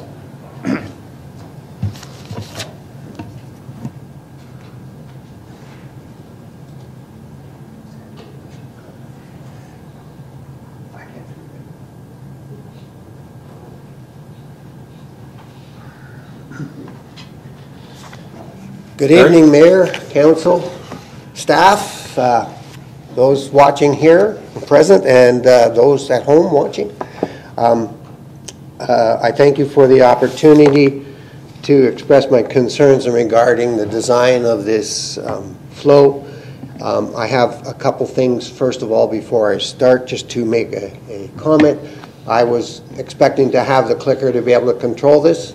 Uh, I can't control this now. Uh, So it's going to be a little awkward as it goes through it because the timing of what my presentation has, it has animation in it. It's, it's going to be, it's going to be awkward.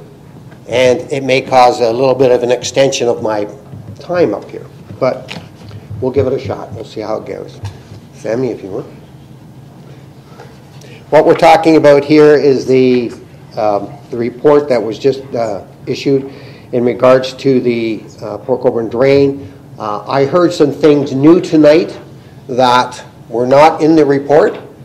Uh, So my, my presentation here may have uh, some things that uh, don't apply, but it may have things that do apply even more so, and the significance of them may even go more important. So um, on with it, if you will. What we're talking about here is a, um, a drain which has some uniqueness to it. The uniqueness to it is the connections to the quarry. Although the report says the quarries aren't connected to it, they aren't connected by runoff, they are connected by pumps. Pumps that don't have to be shut off, pumps that can run 24 hours a day. Uh, These quarries that we have here were blasted craters, huge craters, into the earth and removed the earth. So these are retainment, retainment areas. Next.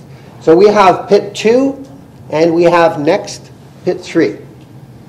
So if we go a little deeper into these, um, there's a very uh, significant amount of time spent in the report um, in regards to the significance of the impact of these quarries uh, on the drain, um, but it's not quantified. The report, in fact, on pages 5, 6, 8, 10, 13, 15, and 16 identify areas and ex- give explanations for the modification, alignments, and abandonments of this, of the quarry and how they impact the drain. But that is not discussed in the report uh, significantly.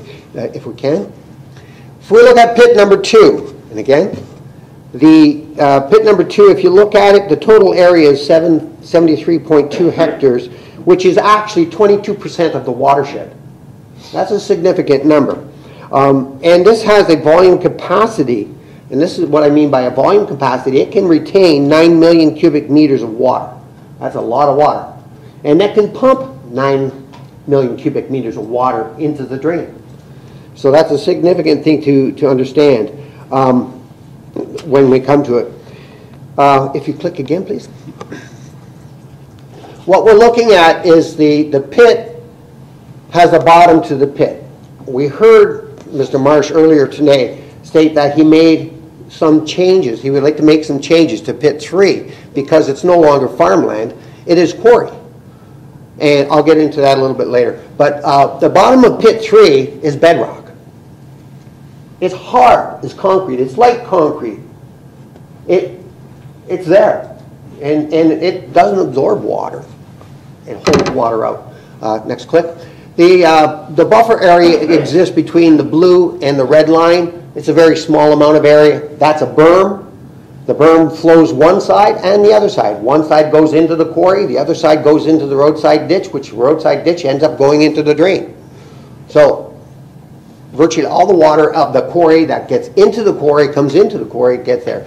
The drain on the, the, the bottom of the quarry actually has a slope to it, and pit two has a slope which is about five meters from end to end, running from the north to the south. Click, please. Click. So you can see it. These are elevations that are actually taken from the expansion documents that provide are provided by Port Quarries. Next clip. Now let's go through pit three. It's same sort of scenario. Pit three is this this area. It has a total um, uh, total area that uh, is um, um, 70.6 hectares, um, and that that uh, represents uh, another 22% of the watershed. So combined, you're looking at 44% of the watershed out of these just two little areas that we're looking at. Um, if you click again, please.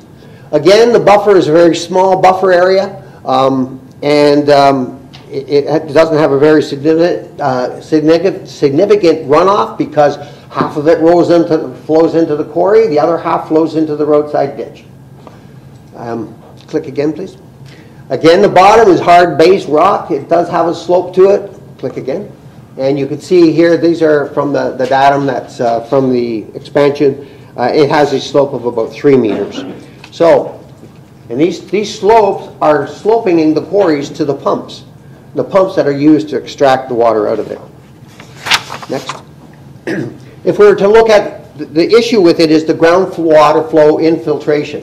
And if we look at it from the perspective of it, this, di- this picture is in the wintertime, which really shows the water that's infiltrating into the quarries. Um, the base of the quarry is at 166 meters above sea level. Water table is at 178 meters, and the top of the ground is, is at 182 uh, meters above sea level. So when we look at this, there is actually 12 meters of water that could be retained in those quarries. Um, this will vary slightly from location to location in the quarry and quarry to quarry, but uh, there is a significant amount of inflow of water into it, which the quarry must handle. Next slide, please. If the quarry, as you look at it from here, were to not have the pumps, next slide, this is what would happen. It would fill. Whoop. Click again. Okay. Not working. What would happen is it would the quarry would fill. So what they have to do is they have to pump the quarries down. Next slide. There, that's working. So now they pump the quarry down. But when they pump the quarries down, they don't only pump the water inside the quarry down, the water from outside the quarry is impacted. In fact, it's impacted to one kilometer away from the edges of the quarry. Next slide, please.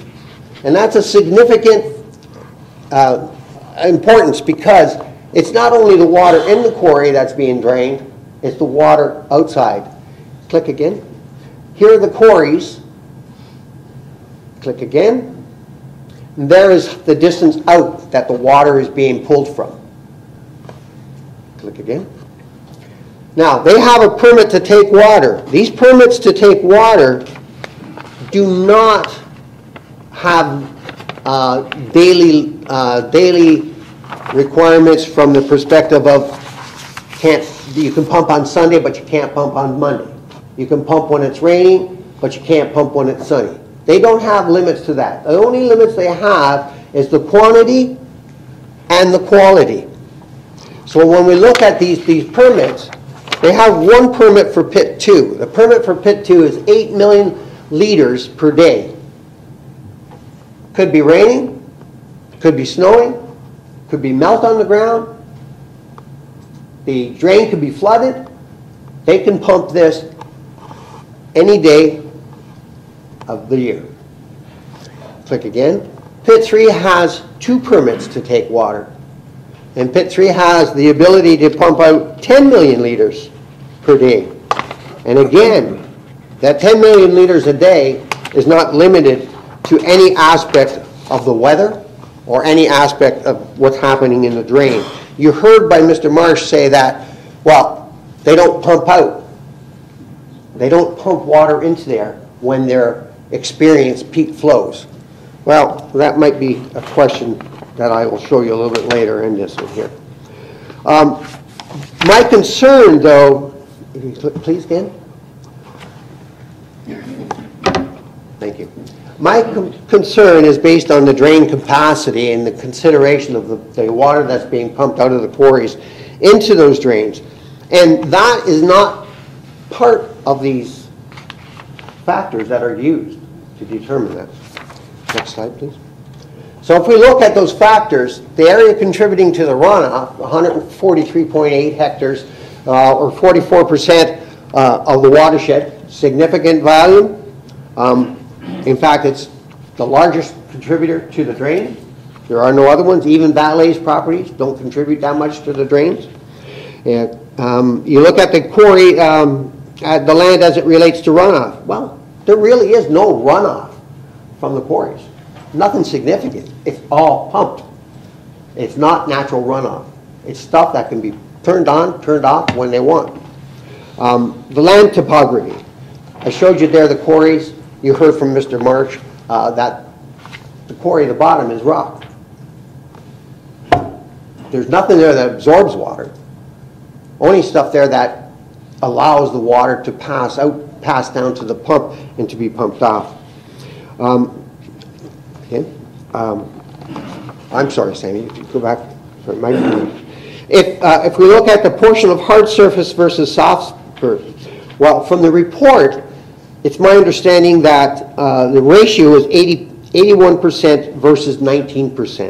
And what that means is that the, um, respectively, the 19% are the burned properties, which actually 50% of that 19% feeds back into the quarries. So the ratio, if you're looking at it truly in, in comparison, is higher than 81% hard surface. And that's important because that determines how much water's going to come off of that through the pumping. Uh, stormwater management. There is no stormwater management systems within the quarries. They collect it, they pump it. That's all it is. Very simple. They don't do anything to reduce the runoff. And in fact, if the quarry wasn't pumping in the groundwater, there would be less water going into the drain. They're actually adding water to the drain that the drain would not normally have. And that is 19 million liters per day that they could add. They may not, because they don't have to, it's already pumped out, but they have that ability. So it's not a storm, it's nothing that reduces runoff, it actually increases runoff or contribution to the, to the, um, uh, to the drain. Next one, please. Um, There's what's referred to as the coefficient of runoff or the C factor, and it's, in- it's important because um, this is part and parcel of the prediction of how much runoff would come out, out of that. Um, But that is based upon runoff. It's not based, based upon pumping fly- volumes. Um, And um, so this will enter into a little bit, I won't talk about this any anymore in that regard. But it's important to note that, um, if you click to the next one. One more that- minute here. One more, Pardon? one more minute, please. Okay. Um, Click to the next one. The, the C factor of 60, which wa- was referred to in the calculation of that, um, it's really not 60. The, if you go through the reports, click again. There are three places, in uh, three additional places within that, click again. Within the report that identify and use a lower C, fa- C factors than, click again. Again. And again. And again. And again. Here's one at 35. That's not 60. Click again. Click again. And again. That's right in pit three. Click again. How's pit three have a uh, C factor of 35? I don't know. Uh, click again. This one. Click again. 20, 30. Click again. Now It's in the middle of pit two. How can middle of pit two have a C factor less than farmland? I don't know. Click again. This is in pit one. Pit one's not even supposed to be part of it. This is in the report. And it's right off, right, the source will come up right now. Click again. There's the source. That's right in the drain report. There's these three properties. Click again. Or these three locations in there that are all C factors less than, less than 60. There's three with 60 and less than 60. Click again. Oh, that was, if you go back one quickly, it's very important to note that even the roads, the MTO road right-of-ways are 90 to 80. That would be similar to the bottom of the quarry. Asphalt, concrete, bedrock, same sort of flow characteristics, characteristics of water. They should 90 or 80, and that's the C factor they're given, not 60. Click again. Okay. Um, click again. I'm going to go to questions here. All right. Okay. Oh, oh, just one quick click, click, click, click. Oh, right there. There, oh, that is during a huge rain event, March 27, 22. Pit 3 discharging. They were discharging. They were not observing peak flows. My property flooded that day. Click again. They were discharging again, July 17th, 21, another flooding day. So there's nothing that controls when they pump. And that, when they pump, they can pump up to 20 million liters per day. Okay? Great. Thanks, Harry. Okay. Questions, council, for this presentation? Councilor Bodner.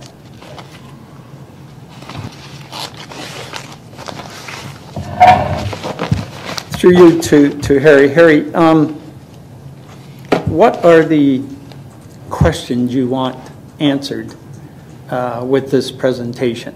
I, there was a lot of, you know, difference, or a few things different than what Mr. Marsh did. What, if we look to send this back, what is the two or three things that are, you know, wrong? Thanks, Ron. The, the biggest thing is in regards to the ratios that have been established. Um, What was used by um, EWA was a ratio of 50-50 for the, the highest flow and the lowest, uh, the highest C factor, which they've assigned 80 for, which I believe is a lot less than what it should be. It should be in the 90 to 98 area, uh, compared to the low, low ratio uh, that they had of uh, 35. And 35, again, um, I don't know where the 35 would apply to their lands. I can't see it. Um, So the the questions that I have, or or that I would like to to see a- responded to are the, uh, what is the true C factor? What is the true volume of water that the drain can handle from those quarries so that that would not um, and that enable the flooding of the properties downstream of them. That's the biggest concern that I have, is that, I heard, and I just heard it tonight, it wasn't, it's not in the report that was presented, and it should be, is that they checked to see if the flows from the quarry um, would, the the drain would be able to handle them. I, I, that's the question there. is Will they be able to handle them during peak flows? Um, Is the, is the drain actually designed for that? Counselor? You all set? Okay, any further questions? Great, thanks, Harry. Thank you.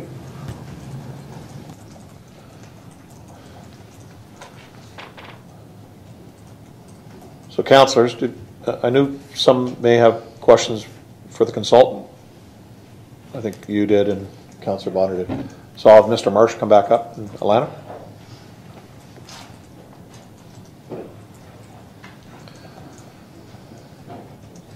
Counselor Bruno? Worship, um, just two questions.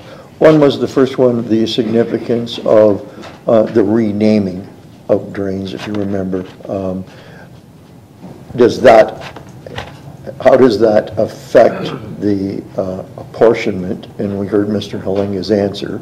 So just wondering if you could respond to that, the name change issue. I'm going to let Alana start with Right. that explanation, Sure. and then I'll maybe add a little bit. Through you, Mr. Mayor. Uh, So the naming, uh, the name changes were brought about by the previous drainage superintendent, um, who had done some history himself, um, and, you know, determined that, you know, this could possibly be Port Colborne at once outletted through what is now the Vale property. Um, So all of that was just, we, we let that roll. Um, we, I didn't make any changes from what the previous drainage superintendent had um, set us in the path of. He was the historian, not me. Um, Mr. Hellinga is a bit of a historian himself, um, but we just kept on that same path. As far as we saw, the name changes, yes, may be confusing for the residents, um, but as far as the drains themselves go, um, having a Port Colborne drain, a Wignall drain, and a Mitchner drain, um, to me and to those involved at the time, seemed much more logical than having W1, W2, W2A, 2A, 2B. Um, it was, there were too many branches, and we just made things a little bit simpler. The Port Colborne drain drains into the Wignall drain, the Wignall drain flows into the lake. Counselor? So to circle back, um, then the name change, obviously at the end of the day, there's money involved in this and what people are going to be assessed. So I guess the question is, um, Mr. Hellinga, from what I got from him, that the name change is important vis-à-vis what's a tributary, what's a main drain, and I'm assuming that that culminates in a differentiation of costs. And I, that's what I want to try and find out, because I, I really can't. The, the name change to me just doesn't jive in my head as how it's a different um, cost. So from my perspective, I don't care what it's called, and it won't change what Mr. Hellinga's assessment is. Mr. Hellinga's assessment is based on a tiered model connecting within the drain. So the very top part is what we're calling Port Colborne Branch Number One that runs along two sides of his property. He will pay for that drain. That drain empties into what we're calling the Port Colborne branch, which we're proposing, or Port Colborne, which we're proposing to extend along the east side all the way up to the second concession. And it becomes the biggest piece of the drain that will exist in the future. He will pay for that. He will pay a larger share because all of his property is within that watershed. That Port Colborne drain outlets into the Wignall drain.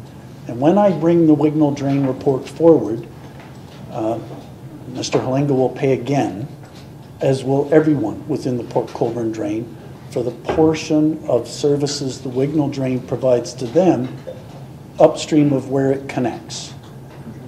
For the work that is north of that connection, they won't pay anything. But for the work that is south of that connection, they will pay a share. And so Mr. Hellinga is correct in the sense that where something connects can determine how much it gets paid relative to the branching of the drains. In the case of the Port Colborne, there's only two parts, the branch and the rest of it. I didn't subdivide the rest of it into two sections, three sections. I left it as one complete watershed. I didn't feel it was necessary to split it up more than that, in part because most of the costs for any new changes or works are being borne by the quarry or for the culvert changes by the city. The culvert changes at the time that we looked at it, um, uh, I, I- you know, we had survey data. That was what made the most sense to us. We all reviewed it. That's what we wanted. It switches the flows to the east side. On the north side of the second concession, that's what we did. Thank you. The Second question is going to be to Mr. Wells's point. I guess all along I'm thinking if there was no quarry there and it was hard surface or farmland, it would have a runoff and it would go into a drain and it would be part of all that and it'd be assessed its cost. So until the end of Mr. Wells's um, uh, presentation, which somewhat um, maybe negates this question and answers my concern. So the fact that the quarry can pump at any time does seem to be a salient point. But otherwise, is the quarry not holding water much like in the urban area, sewer treatment reservoir holds it till it can get treated and doesn't overflow. So if the quarry's holding the water, isn't that a good thing until the flows stop from the rain event? And then it can eject the water, ergo you don't need a bigger drain and ditch because it's not all pouring at the same time. But I, I did take note of the final point. If they can pump at any time, then they could overflow it. So can they be controlled as a check valve or um, reservoir so that you don't have to expand the width of the drain? That might be pretty long-winded. I, I hope I got everything in there and you understood it. I, I'm going to try to answer, and I'll do it um, with an analogy. Let's say the quarries were all farmland, and they run off. We know how to predict that. We know how to size the drain. It's not a, a huge technology to do that. Let's say that instead of farmland, they converted it all into parking lot, no excavation, they just paved over everything, and it was connected to the drain. In that case, yes, we would assess a C factor of 95 or 98, because they would have a gigantic amount of runoff that's appearing in the drain. That's not what they're doing. What they're doing is creating a giant hole that acts in a way like a stormwater management pond because it traps all the water that falls within the boundaries that Mr. Wells outlined, and it doesn't go anywhere until they pump it. And so that's what I'm trying to balance with the C factors, is recognizing they're somewhere between agriculture, which they are not, like 35 is what we use for an agriculture, and 80 or some 95 value, and we took the median of that, the middle of it, and that's what we gave them as a C factor. Is it high enough? Is it the right number? It's a number. We came up with it that's a reasonable thing for what we took, which was 35 to 85, and the middle 60. So if Mr. Wells thinks it should be higher, okay. Um, I thought 60 was okay. Okay, thank you. Great, thank you, Counselor. Counselor Bodner? Thank you, Mr. Mayor. Through you to um, Mr. Marsh, I guess. Um, So I get the C factors, and I get that it could be 60 or it could be 70 or whatever shakes out. Um, Mr. Wells showed us three or four pieces of quarry land that were 25, 30, 35 as a C factor. Is there an explanation for that? No, I don't, I, I don't have an explanation of that, because I looked at the report, I looked at my mapping, mine say sixty. So I'm not sure where his numbers are coming from. Uh, I have the tables with me here, I can look at it again here, but I checked it a couple times and they say sixty. Okay, so- The the one that doesn't is the one that he identified that's in pit three, that at the time that I was looking at it was more not pit and more agriculture. And in the intervening time, that's more pit than agriculture, and I would like to change that at the Court of Revision to also be a 60 along with everything else. Okay, so the 60 versus 30 C factor can be handled at the Court of Revision? Yes. Okay. So, like, even if we check the report and the numbers are as Mr. Wells says, Mhm. and I haven't done all the changes I should, we will make them all 60 at the Court of Revision. Okay. If, like, assuming that you all agree that 60 is a reasonable number. Sure, sure. Um, So I guess I have trouble with the 60 number because I'm no expert on that number. I don't think anybody else sitting around here is either. Uh, We rely on the engineer to come up with a number. If someone wasn't happy with that number and they wanted to challenge it I don't imagine the Court of Revision is the place to say that. Is it the next step, like the tribunal, or, or is it the Court of Revision? I I think it's both of those. If someone's not happy, the Court of Revision i- is the place to challenge anything to do with assessments. Um, If they're still not happy about the report or about the assessments, the tribunal is the avenue by which they would pursue that unhappiness. Right. And, and again, originally, um, this was assigned to the, well, the first consulting firm as one report to do for the entire Wignall Drain. It was, that engineer went bankrupt because he was having so much fun working on the report. And it was assigned to a second engineering firm. They didn't finish it. And I took it on. And we chose to split it into three reports in the hopes that it would be less of a contentious issue to go all the way to tribunal. Uh, We, we thought that was a good strategy, and I still think it was a good strategy, but it might mean three trips to the tribunal instead of Right. one big one. Right.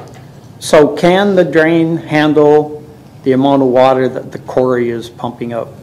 Yes, based on what we looked at from the pumps that they had on site at the time that we looked at it two years ago, um, and looked at the nameplate with the rating for how much that pump is meant to produce, and making some assumptions about how high they're pumping the water and from where they're pumping the water, the values are within what the drain can be support based on a prediction of a runoff from an agricultural area directly connected to the drain.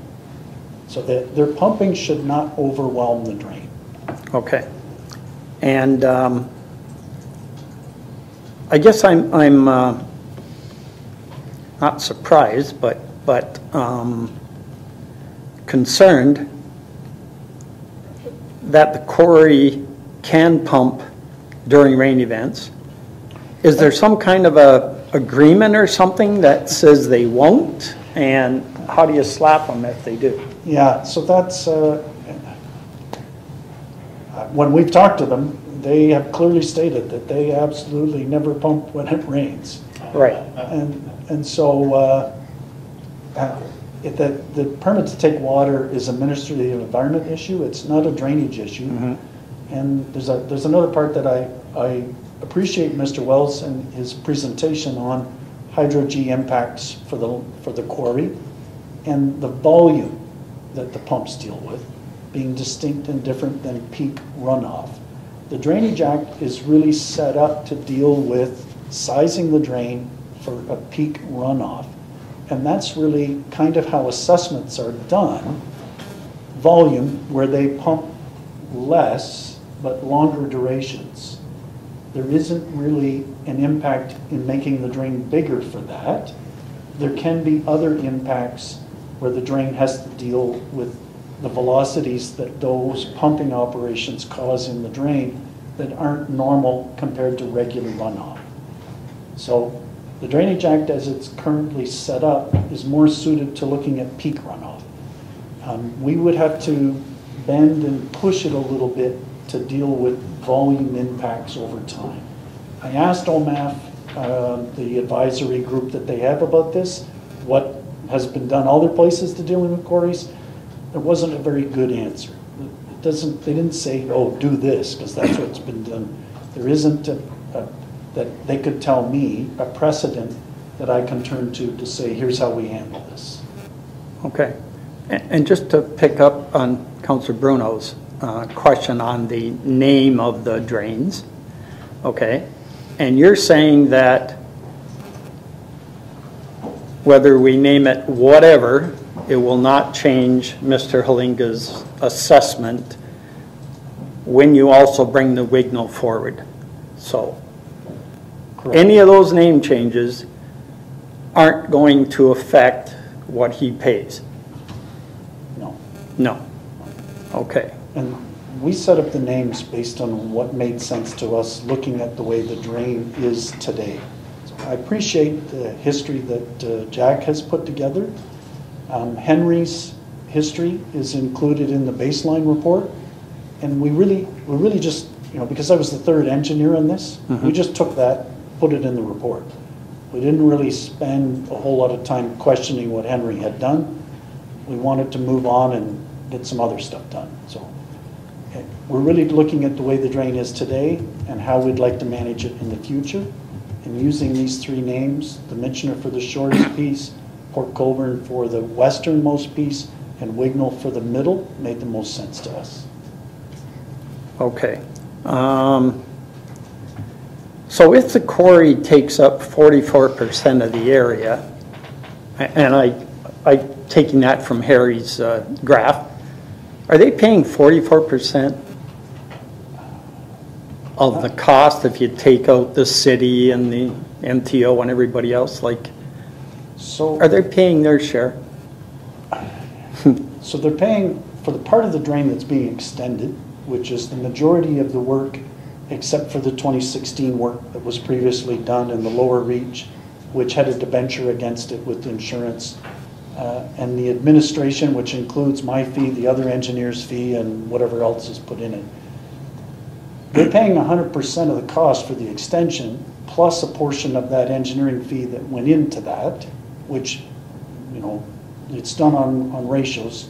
Mm-hmm. And so, are they, are they paying their share? I I think, I don't want to say yes or no. Yes. Because I can't tell what's their share. Yeah. Right, like, but, but we have a reasonable methodology for giving them the amount of costs that have been calculated. I haven't budged anything to bump it up or make it lower. It's a straight mathematical calculation. They have this C factor, they have this much area multiplied together along with everybody else. They pay hundred percent of the cost of extending the drain plus plus fifty percent of moving the culverts. The city picks up the rest. All the rest of the costs get packaged into one thing, and that's spread amongst everybody. Right. So if, because I'm cognizant that every time we send it back, you're sending us a bill.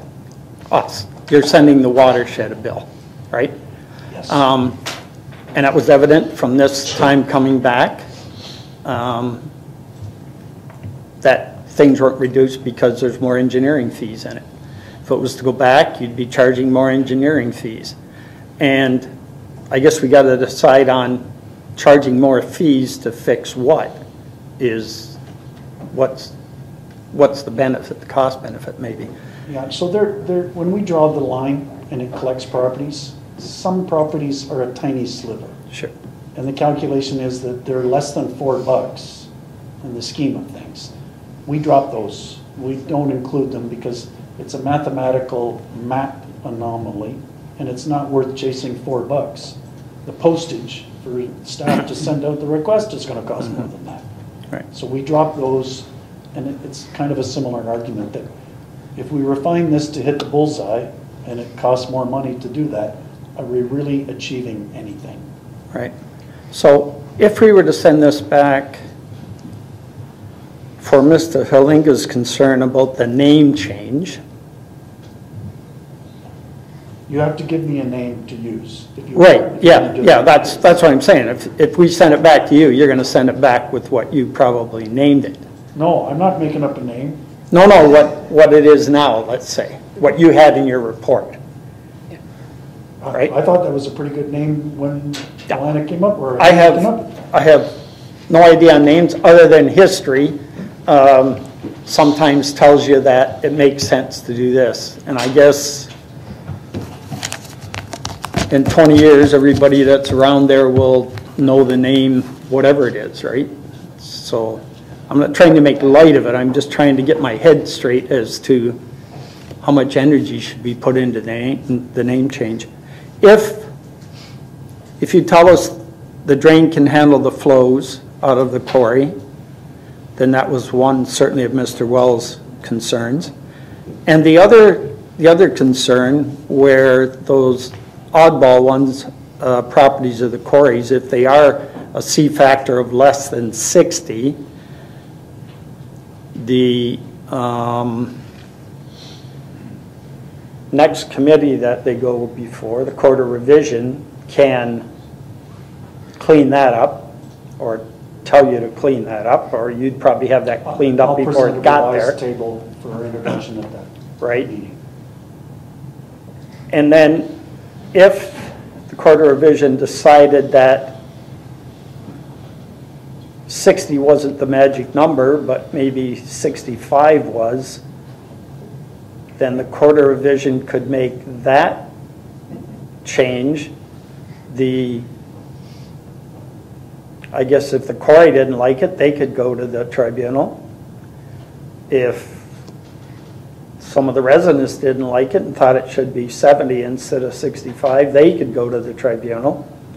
So there is a, a next step, and I know both Harry and, and um, Mr. Hellinga, Jack, he, they don't really want to go to the tribunal, I'm sure, because the tribunal is a whole other thing, and I'm sure there's a cost to it, yep, yeah. Uh, Harry, Harry, I think, has been there, and Jack, maybe.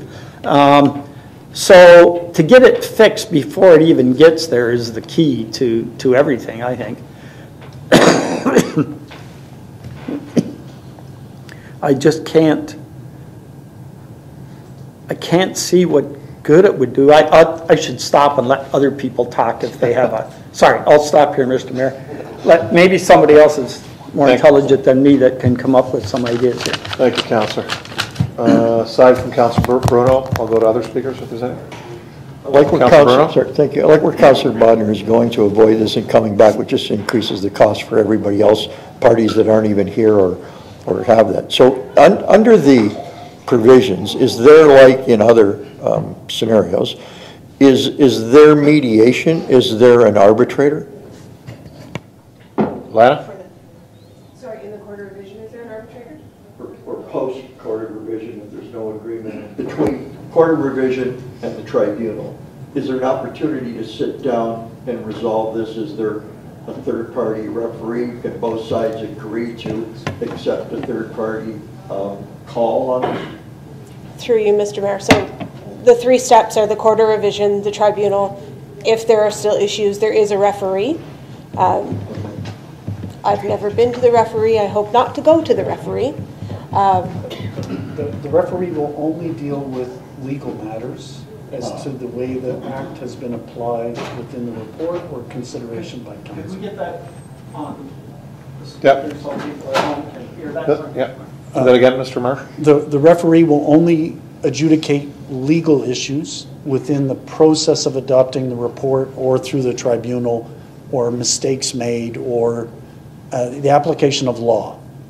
So the, the the referee is really a question of legal matters, um, whereas the tribunal is a question for the report content, design, how it suited the residents' needs. And uh, through you, Mr. Mayor, to Councilor Bruno, um, when, when we are presented with appellants in the tribunal, Alana and I go to them and say, what can we do to make your concerns be addressed? So in the past, on the Zavits, we did that. Actually, Alana was one of the appellants, because I was working for Fort Erie at the time. And so we changed and satisfied, and so they dropped their appeal because we addressed what their concerns were. But one appellant was not happy with what we were trying to do, and so we still went to the tribunal for that one appellant. Thank you. Okay, thank you. Counselor Bagu? Uh, thank you, Mr. Mayor. Listening to everybody talking here, I think we're, uh, I'm ready to send it to court of revision. I think it's, uh, we're not gonna solve anything more here tonight. By sending it back to the engineer's report for the, the sixty factor in the naming, uh, I'm not willing to send it back to the engineer. Thank you. Great, thank you. Okay, no further questions at this point? Great. I do have to ask if there's other public, though. Okay. So you guys can sit down then. Uh, Is there anybody else in the public that wishes to speak on this issue? That's impacted by the drain, yes. Yep, come on up. Just name and address for the clerk. Joseph Van Ruven. Oh, yep, press the red button. Joseph Van Ruven, 787 Highway 3, Port Colborne. Um, I live where the, uh, the whatever you want to call it, the drains, come across Highway 3. The- My, my property is immediately across the street from Jack Hellinga's. And um, I will just comment on a couple of things that have been presented here tonight. Uh, I will say, uh, without any kind of exaggeration, there are times, certainly when it is absolutely pouring out and the drain is being pumped from the quarry. So what, whether they say they never do, I'm not sure what they're using as a guideline for what is heavy rain or what, but I'll tell you right now, there are times, my property is one of the properties where there's a ford across the creek, across the drain.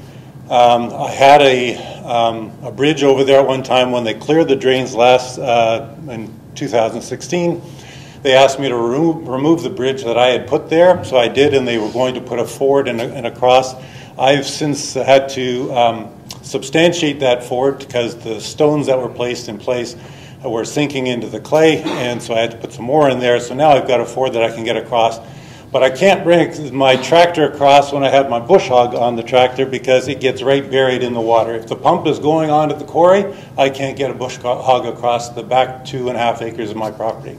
So um, I wait, and um, I'm not one to squeaky, beat a squeaky wheel, but I'm, I'm saying that what the Port Colborne quarries people are claiming in terms of not pumping during the uh, heavy rainfalls, I would say is absolutely false. What I also will say is that since 2016, when the drains were last cleared, uh, the amount of vegetation growing in the in the drains has substantially grown, and the the uh, it's not the uh, Philagmite uh, australis that's causing the problem. It's regular uh, cattails, and when the Port Colborne Quarries is pumping, that drain is as full. I bet it's up to my hips. And normally, I mean, when it's regular drain, uh, just water coming off the, the grounds. If in fact the quarry is not pumping, then uh, the water across the drain uh, might be up to a, a pair of uh, rubber boots. So um, I can still walk across it. But because so many times, so much of the time now is um, the water is up to my hip at least, I have built another little footbridge across the, the creek so that I can get across and access the back half of my property. Um, so th that's one thing I want, wanted to comment on. Um, with regards to, uh, it seems there's a little bit of confusion and or um, people are taking things uh, in different divergent directions, but I'm thinking that anyone, um, like the, the quarries represent to me a reservoir. Rain falls, if it falls vertically, it's going to be filling up those quarries. And I can understand the owners of the quarry want to pump that water out of there because they're working in the bottom of that hole. They need space to work. So they're going to be pumping that as soon as they can. If they have too much at the bottom of the quarry occupying water, then they can't operate there. So that every day of uh, lack of operation means a day that they can't be making money.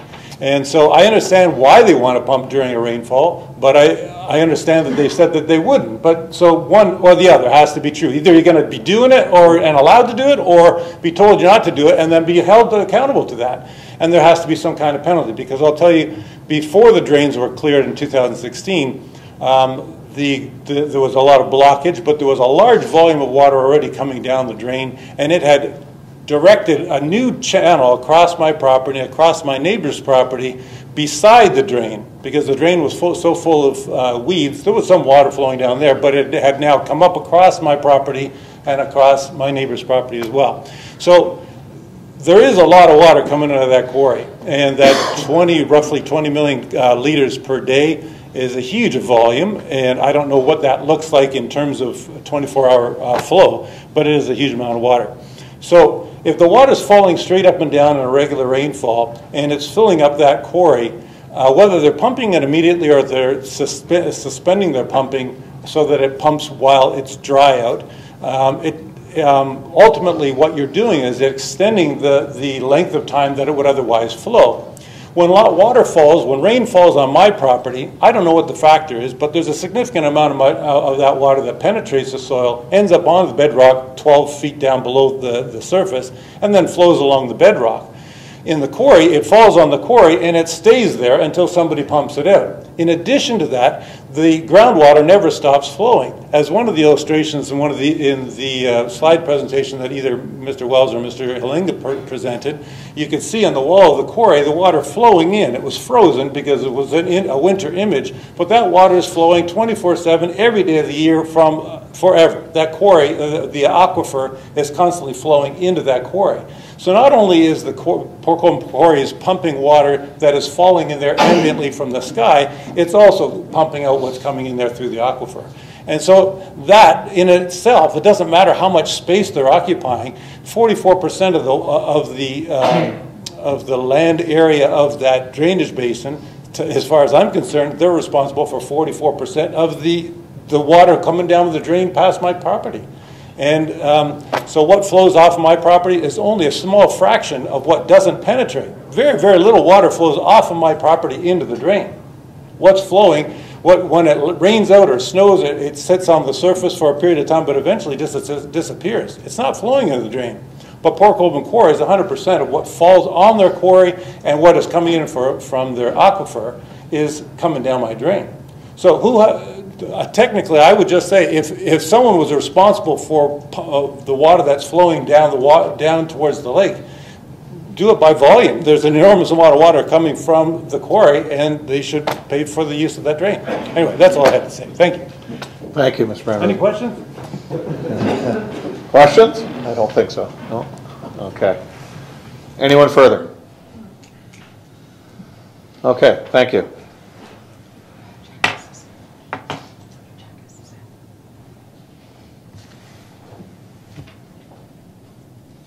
This, uh, my presentation, I couldn't make the entire but I submitted it in advance. So I would just like to have on record the rest of my presentation, which I was not able to make.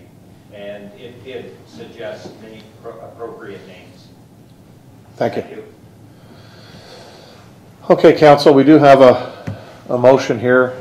uh, The Public Works Department Report 2022-250 be received, and that the mayor and clerk be directed to execute a bylaw to pre- provisionally adopt the Port Colborne Municipal Drain Engineers Report dated July 12, 2022, prepared by Paul Marsh, P-Eng of EWA Inc., under Section 78, Chapter D17 of the Drainage Act, RSO 1990. And I need four counselors, uh, three that will be appointed as members of the Port Colborne Municipal Drain Court of Revision, and one counselor be appointed as an alternate to be tentatively scheduled for January 25th, 2023. Do I have a mover and a seconder for that? Counselor Bagu, Counselor uh, Bruno? Uh, Counselors, who wishes to sit on the Court of Revision? I have Counselor Bodner, I have Counselor uh, Aquilina, and I have Counselor Bagu. I need a fourth for um, uh, an alternate. Alternate. Uh, Counselor Hoyle. So Bruno, Aquilina, Bagu, and then the alternate is. Oh, sorry. Did I say Bruno? I apologize. Your hand was up so much tonight. Um, Bodner, Aquilina, Bagu, and Hoyle are the, and with Hoyle being the alternate as counselors. Any further questions? All those in favor, please raise your hand. That's carried.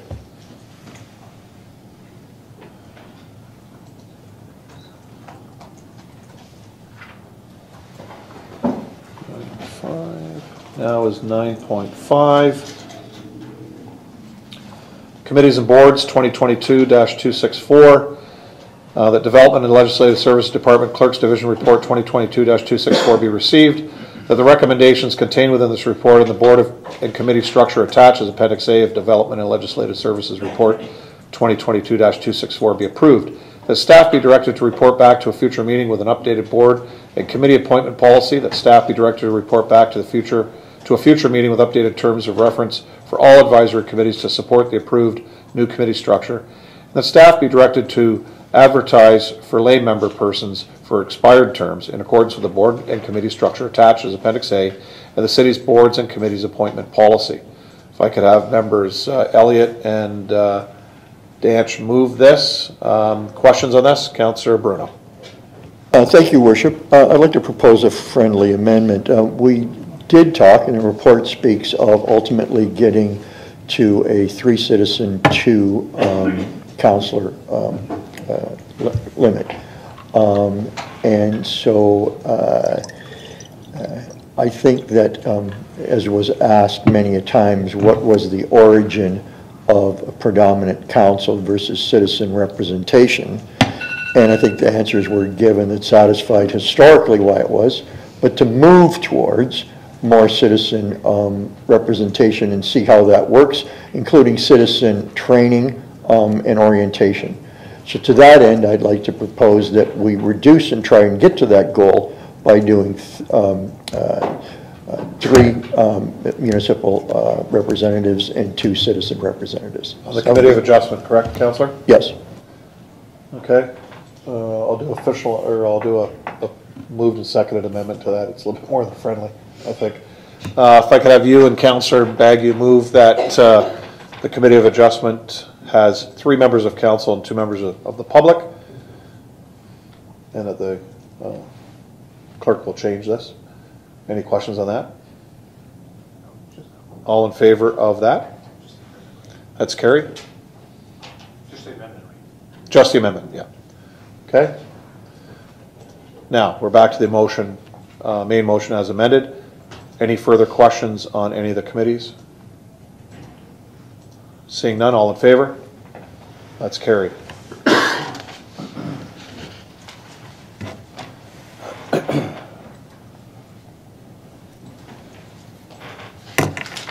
This is a long one. Council representation on boards and committees for 2022, or uh, Report 2022-270. That Development and Legislative Clerks Division Report 2022-270 be received. And that staff be directed to report back to a future meeting with council member appointment to committee policy for consideration. And Active Transportation Committee that Councilor Bagu be appointed. Economic Development Advisory Committee, Councilors Elliott and Bruno. Environmental Advisory Committee, Bagu and Hoyle. Grant Policy Committee is Hoyle and Aquilina. Port Colborne Historical Marine Board Museum is Councilor Beauregard. Port Colborne Senior Citizens Advisory Council, Councilor Aquilina. Social Determinants of Health Advisory Committee, Everyone Matters, Councilor Hoyle. Committee of Adjustment, Councilors Elliott, Beauregard, and Bruno. Property Standards Committee Notice to Muzzle Appeal Committee, Councilors Beauregard, Hoyle, Danch, and Aquilina. Port Colborne Public Library Board, Councilor Bagu. Downtown Business Improvement Area, BIA, Councilor Elliott. Main Street BIA, Councilor Danch. Drinking Water Quality Management System, Councilors Elliott Bruno. Niagara Center Dorothy Rungeling Airport Commission, Bruno and Bodner. Port Colborne Wainfleet Chamber of Commerce, Councilor Hoyle. Julia Yeager, Social and Recreation Center, and Sherkston Community Center, Councilors Bodner and Aquilina. Niagara Transit Commission, Councilor Beauregard. That's it. If I could have Councilors Beauregard and Hoyle move that. Any questions? Did you say uh, Bethel Community Center? Well, it's called the Julia Yeager No, that's. oh, sorry. Social and Recreation Oh, Center. Sorry. Yep, I, I did them both the same because the Oh, two count, both of you are on both, because you're both in Ward Four. Yeah, I did them both in block, Counselor. I was just making sure you're paying attention this evening. So I have Counselors Beauregard and Hoyle moving that. Any further questions? All in favor? That's carried.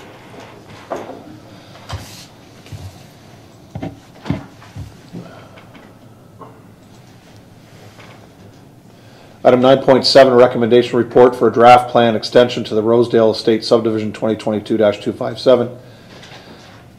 Um, We have uh, Development and Legislative Services Department Planning Division Report 2022-257 be received. And the council approve a one-year extension to the Rosedale Estates Draft Plan subdivision. And the council delegate the authority of the manager of planning to consider a further one-year extension to the Rosedale Draft Plan subdivision. If I could have Councilors Danch and Bruno move that.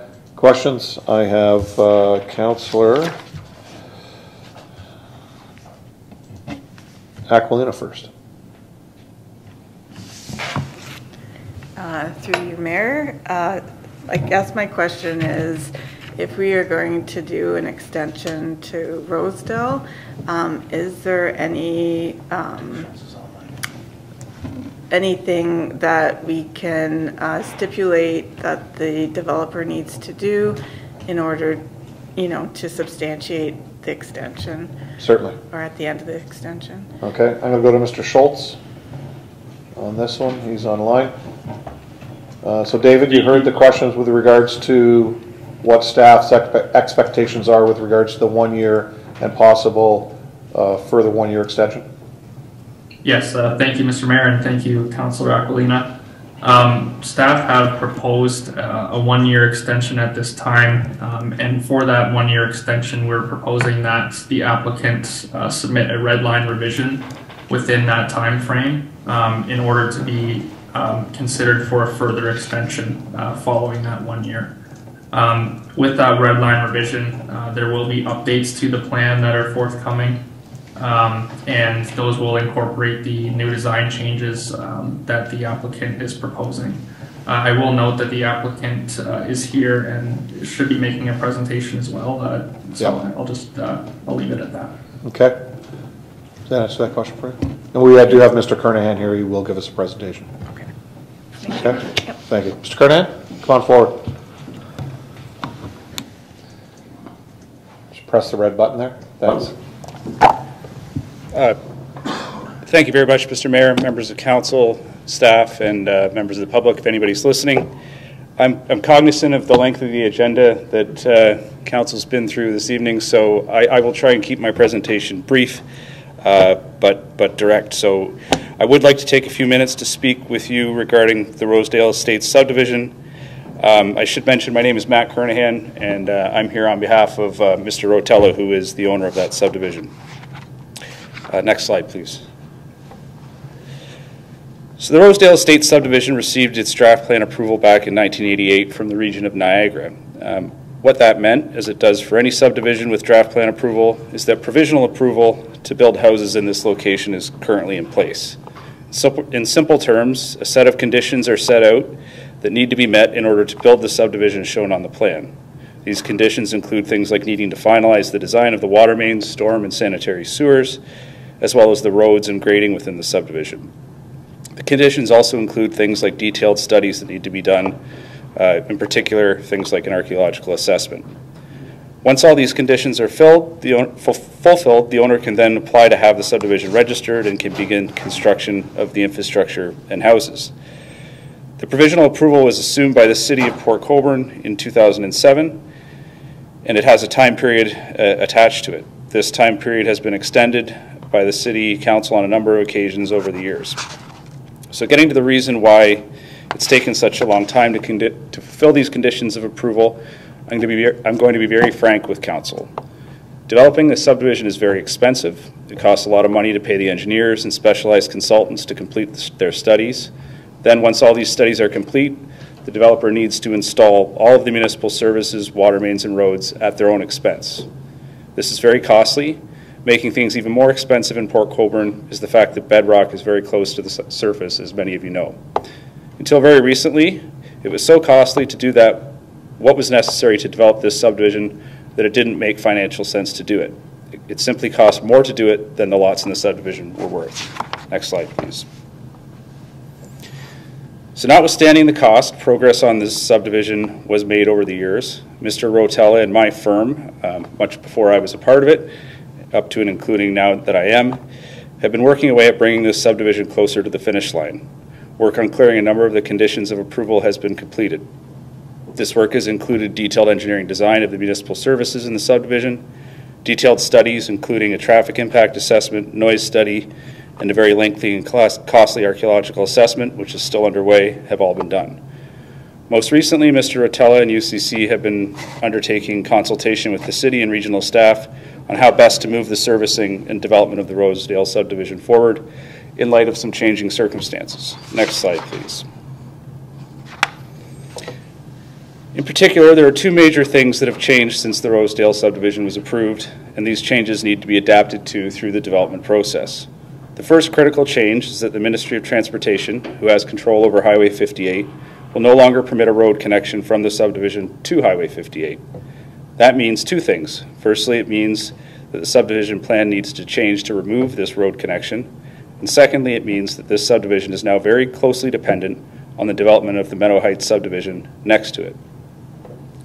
The second major change also relates to the Meadow Heights subdivision. In particular, the parcel of land now owned by Van John Paving immediately to the north of the Meadow Heights subdivision on Stonebridge Drive. At the time when the Meadow Heights and Rosedale subdivisions were approved, this parcel was owned by the city. In fact, the sewers and water mains that service a portion of these two subdivisions have a provincial approval to be constructed through these lands. Unfortunately, despite this approval being in place, when the city sold the lands, an easement over them was never secured to ensure that the pipes could be in- constructed in their approved location. So this presents a bit of a complication for the development of these lands. So in order to co- overcome this complication of these two obstacles, the approved Rosedale subdivision needs to, needs to change before it will be built. Next slide, please.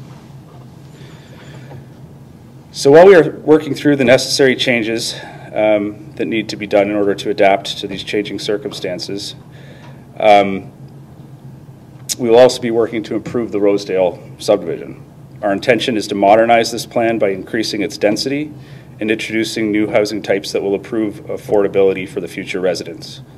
Recent changes in the market and to interest rates have made housing affordability even more important than it was in the past, and we intend to adapt to make sure that this house, this subdivision includes affordable housing, or housing that is more affordable, I should say. So our intention is to work with city staff over the next year or so to make these important changes to the plan and secure the necessary development approvals. Um, As is indicated on the screen, there are a number of um, specialized studies that we know need to be updated. And Mr. Rotella has also, has already retained the services of, uh, of my firm, Upper Canada Consultants, to undertake the servicing work at a significant cost. And more significantly, he's retained an archaeologist to undertake the stage three and four archaeological assessments, which we now know could cost, will cost him over $700,000. So there's a lot of work that's required to do these detailed studies and to justify the changes and to figure out how best to service and develop the subdivision in light of the changed circumstances. It's very important that we retain this draft plan approval while we figure out this together with city staff. Next slide, please. Our request of council this evening is very simple. We ask that you grant us a two-year extension to the draft plan approval. This two-year extension will give us the time we need in order to make the necessary changes to the subdivision so we can get it built. We are closer to the finish line for getting the houses built here than we ever have been, and we ask the council not set us back by letting this approval lapse. Circumstances and market conditions have changed, and we have needed to pivot a bit, but things are moving in the right direction, and we need to maintain our draft plan approval status to keep things moving that way. Respectfully, on behalf of Mr. Rotella, I ask that council grant us this two-year draft plan extension this evening. Next slide, please. So that concludes my presentation. Um, I would like to thank council for your, your time and, uh, and our- your consideration of this request. Thank you. Great, thanks, Mr. Kernahan. Uh, Councilor Aquilina, do you have any further questions? Um, through you, Mayor, to um, consultant, I guess, um, how will we know in the two-year extension, like how far you, you're moving along? Like, do you know? Yeah, So through you, Mr. Mayor, um, making changes to, to a subdivision and, and acquiring the development approvals is a bit of an iterative process. Um, We work very closely with city staff, and there are steps in that process where we check in. Um, The, the first of those steps is something called pre-consultation. Uh, That's where we develop an updated plan, and we submit it to the city and the other review agencies for, the, uh, for their, their feedback on it, so we can get sort of our, our marching orders to move forward with the application. Um, So the planning department will be aware of that because we will submit an, an application um, to them. So that's sort of the, the first step. Um, Then what happens is we, as the owner and the consultant, we go away for a while, we do the homework that's been set out for us, and then we, we come in with an application.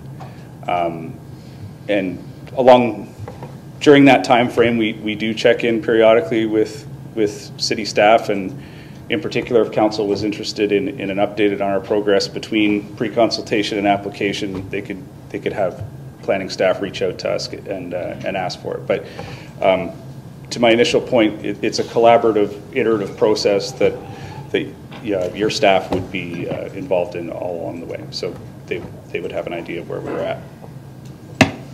Counselor? You all set? Great, thank you. Counselor Bagu? Uh, thank, thank you, Mr. Mayor. Um, I have no questions for the presenter, I just have a comment Okay. afterwards. Thank All right. you. Counselor Bruno? Uh, Thank you, Worship. When I um, read the report, I can see the balance and I can see the direction where the city's going. It wants to get um, plans off the ground, and it also wants to see, I would think, substantive progress. So I'm going to ask the um, consultant, what would you, I mean, it sounds like, I don't know if Mr. Rotella has engaged a $700,000 contract, but um, maybe this has got to be shared, Mr. Mayor, uh, with, with David, is, but what is, developers want certainty, and so not just for this development, but going forward, what is considered substantive action or work that satisfies the planning department to keep this going? Because you know, is it subjective? Um, you know, maybe through you two, if, if David can answer this, is it, you know, is it the red line, um, re- re- requirement? Is it, uh, is it that Mr. Rotella has signed agreements with three, um, uh, consultants and he's paying out this kind of money? I think everybody is gonna need to know, whether it's two years or this iteration that's being proposed, is what's, what says to uh, the developer and to the city satisfaction that that is substantive work? So uh, maybe I can ask if you've had that conversation with the city and, and David, if that can be defined, because if people know where the goalpost is, you either cross it or you don't. That's right. Mr. Kernahan? Uh, Through you, Mr. Mayor, to the counselor, I- I have not had a a direct conversation with Mr. Schultz about what he considers to be substantive uh, progress. Um, It seems to me, by reviewing his report, that the expectation is, and and based on his comments ear- earlier, that the expectation is, is that we would um, submit a a red line revised plan. Um, But, but I don't want to put words into his mouth. Perhaps I'll I'll defer to him. Okay, Mr. Schultz? Uh, through you, Mr. Mayor, uh, to council, yes, that would be correct. Um, that's what we have proposed as a solution for this. Um, I would think that the, the red line revision would definitely give a substantial, you know, thought about the progress on the file, um, because these design changes are necessary to actually move this forward. Um, and certainly, uh, to Councillor Bruno's point, I think a financial commitment, uh, in the area of seven hundred thousand dollars is certainly, uh, you know, a, a, it's proving that the, the developer is wanting to move this forward. Um, I'm not sure if those can be shared with the city, I'm, I'm not too sure at this point. Um, but, um, certainly the red line revision is where we see, uh, some, some movement on this. Counselor Bruno? Maybe circle back if you have other. Yep. Any further questions of Mr. Kernahan? Counselor Danch, Counselor Potter? Yeah, I, oh, just a question, uh, educate me, what is a red line revision? Mr. Uh, Through Mr. Mayor, a red line revision is, is a, a change to an already approved draft plan of subdivision. So, um, for instance, if we wanted to, which we do, introduce um, townhouses into the, into the development plan, uh, we would submit a modified plan that showed lots for townhouses where single detached dwellings currently are. And, and it, it's an application that would also be accompanied by a zoning bylaw amendment application, and it would be uh, subject to council's uh, decision. Thank you. And then, and I read the uh, letter that you had sent down there. This archaeological uh, third stage thing, like, how far do we have to go with this? We obviously, we, obviously you've done it one and two, now you're going to a third. So through Mr. Mayor, in order to satisfy provincial policy um, and um, city and regional planning policy, uh, you need to clear, it's called, you clear the site of further archaeological potential. And it's basically, you need to keep looking until you stop finding. Um, So stage one and two assessment has been done. That stage two assessment identified a number of sites where there is a cluster of archaeological artifacts. And the stage three assessment will um, dig up those artifacts, assess them for significance, and, and count the density of that site. Um, if after a certain period of time they stop finding, that site can then be cleared at stage three, through the stage three process. If they keep finding at high density, then it needs to move on to a stage four, and um, that's that's where you you um, do a further assessment. I, I, I don't want, I can't get into the details of it, but it, you have to go to a stage four if the amount of artifacts warrants that you go to a stage four. Um, and uh, these things are very costly. Uh, just to pick up on another point that was made, um, so Mr. Rotella has engaged the services of, an, of an archaeologist. The best case scenario is $700,000 for this site. So there's the, the time and materials required to mitigate the sites that we know about right now. Uh, that's $700,000, It's the best case. Um, we don't know if a stage four assessment will be required until the stage three assessment gets underway. Unfortunately, due to changing weather, we couldn't, despite having retained the services, we couldn't get into it this fall. But um, the intention is to begin those assessments in uh, the spring, late April, early May, when the ground becomes dry enough uh, to do that. So, Councilor, Councilor Botter? Thank you, Mr. Mayor. Through you to the presenter, just because I, maybe I wasn't paying attention again, but I think I was. Um, I heard you, I thought I heard you say you're looking for a two-year extension, but everything I read, and I thought I heard David say a one-year extension. Can I just get the, because I thought it said one year in ours too. Can somebody So- tell me what it is? Yeah, so it's a one-year extension that we approve. Yeah. And we're giving our Director of Planning the ability to give the further year as long as they're satisfied Yeah. with regards to the work that's being completed. So right off the get-go, it's a one-year with uh, good behavior Yeah, get so you another year. Basically, so instead of it having to come back to us again, Yeah. and it goes to what Counselor Bruno asked, and what Mr. Kernahan and David answered, um, as long as the staff is satisfied, they'll automatically get the second year. Yep. Good, thanks. Okay. Further questions to the speaker? Counselor Elliott? Thank you, Mayor. And this would be through you to our planner. If um, you're satisfied that uh, things have been moving along, um, come towards the end of the first year and want to extend it to two years, is the second year end full stop? David? Or do we go for another extension after that? Because if this has been on the books since 1988, that's 34 years. When is enough enough? David? Uh, through you, Mr. Mayor, uh, through this council report, as staff had recommended, um, only the additional one year would be uh, permitted through this report's approval if council approves it. Um, any further extensions would have to then come back to council uh, for approval. Okay, thank you. Okay. Yeah. Further questions to the speaker? Great, thanks, Mr. Kernahan. No, I know.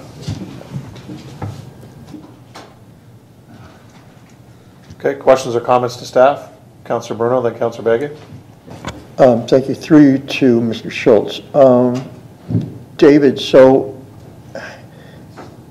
in the iteration that you propose of one plus one, is that two applications and two fees to the city and two fees to the region?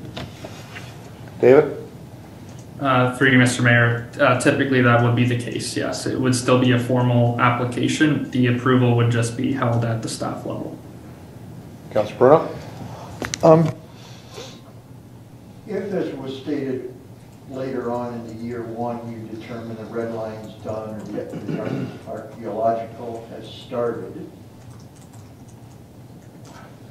and you have the authority then to extend, what would be the reason for a new application and a new set of fees if you're not writing a report to council, um, and the work is done in your mind?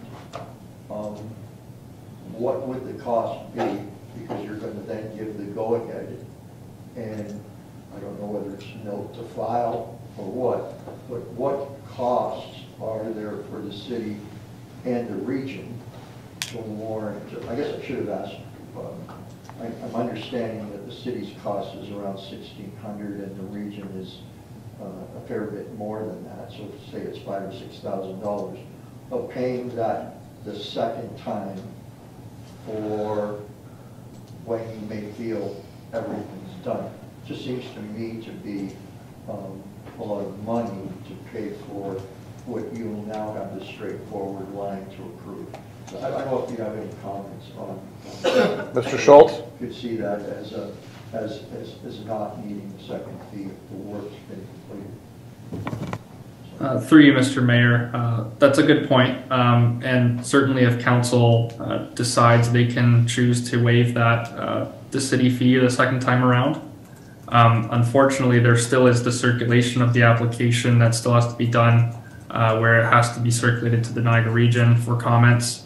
Um, Their fee, I- I- like I said, I think it, I think it's in somewhere in the neighborhood of 2,000, maybe $2,500. Um, and I, I don't believe that fee would be waived by the region. Um, and, and that decision would have to come from them if that's the case. Um, so that, that, that, that formal process still is done. Um, it's just saving it from coming back to council, I guess, which would, um, reduce the staff time, uh, it takes, uh, from the city's perspective. Counselor? Um, Thank you. I- I I think in that regard, I mean, my concern, um, uh, uh, uh, it it was brought up that, you know, this has been a long time going, but to let this lapse would mean that the whole project dies, and whether you could even get it or not, a whole new draft plan would have to be sought. Is that correct? David? Uh, through you, Mr. Mayor, yes, that would be correct. If uh, council chooses not to extend it, um, then the approval would lapse um, and a whole new application would have to be uh, started. Counselor? Thank you. Um, Given that double hit on fees, given the 700,000 um, that we understand is expended, given the red line promise that it will be done, um, I will support a full two years. Um, I I may have been persuaded to on the double uh, uh, line, but it just doesn't seem to me to be um, equitable um, to double the fee if you're already committed to $700,000 plus. So I will be supporting the request by the developer's consultant for two years. Thank you. Thank you, Counselor. That will take an amendment, Counselor, to the motion that's on the floor, but I'll go to Counselor Bagu first. Uh, Thank you, Mr. Mayor. Through you, uh, this is probably the third time I've been on council that's come here. Uh, 34 years is, a is way too long. I got, I I was fed up the last three times I came to council, and I'm just as fed up even more coming back now. One of the reasons is market conditions have changed. Well, market conditions have changed in 34 years. Uh, That's pretty well guaranteed, Mr. Mayor. COVID, that was only a couple of years. We got 32 more years that's been covered. Uh, As for the uh, access to 58 entrance and exit being denied by the ministry, I thought we heard that last time they were here, Mr. Mayor, that it was refused. But I'm not quite sure, but I've heard it before, so. And uh, every time It's coming to council, it's costing us staff time, region time, and uh, I think we- we've just been taken advantage of, Mr. Mayor. Uh, I don't think this subdivision is going to be taken serious. I don't think it's going to be built before uh, this new council ex- term expires in four years. I think we're going to be the same, exact same spot as we are right now. And uh, the presenter, you know, is only telling council of their problems and uh, not any progress. The progress, he hired somebody with seven hundred thousand dollars. Well, the guy hasn't done any work yet. So, uh, Mr. Mayor, I will not support this extension whatsoever. Thank you. Thank you, Counselor. Any further questions to staff or comments? Seeing none, Counselor Bruno?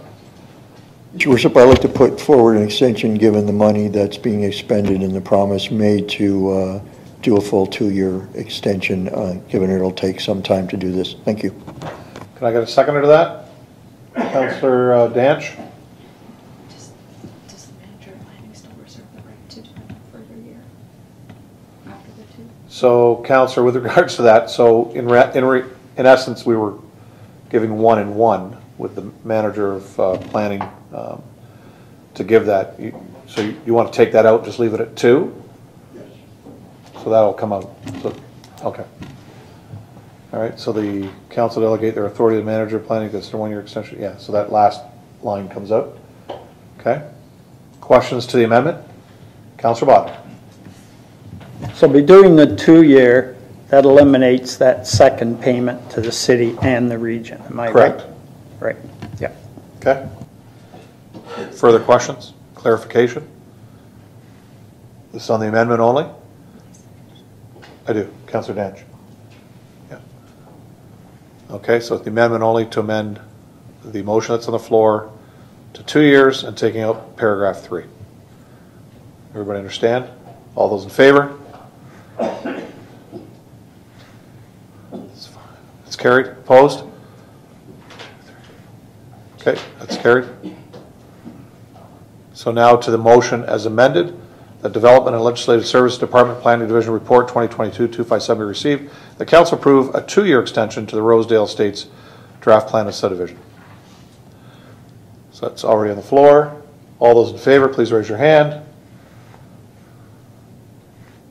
Opposed? It's tied, it's defeated. So we're back to the, well, it's denied. We voted on the amendment, So you voted on the amendment which passed, which was the two-year. which was two years, Yeah. and then the motion to go to two years was defeated.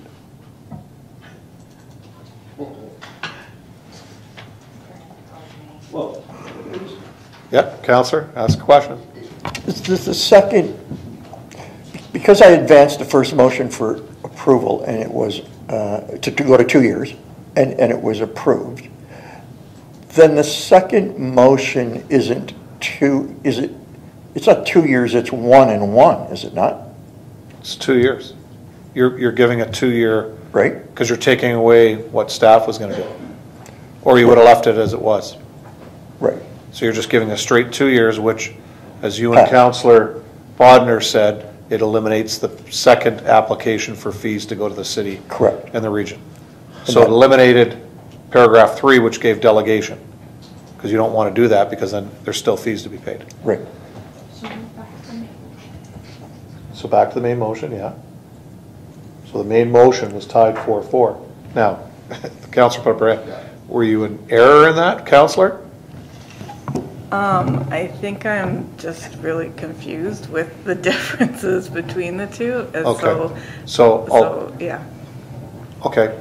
Yeah. That's I fine. No, apologize. no. I apologize. Yeah, no, that's I- fine. I So, just- yeah. so, so the first motion that was on the floor, or the motion to get this on the floor was to give the proponent one year, and then only a second year, but delegated to staff, and then there still have to be a, a fee payment for that second year if staff was convinced, or, um, if they were in agreement that work was progressing to what they liked, to let, to let go to a second year.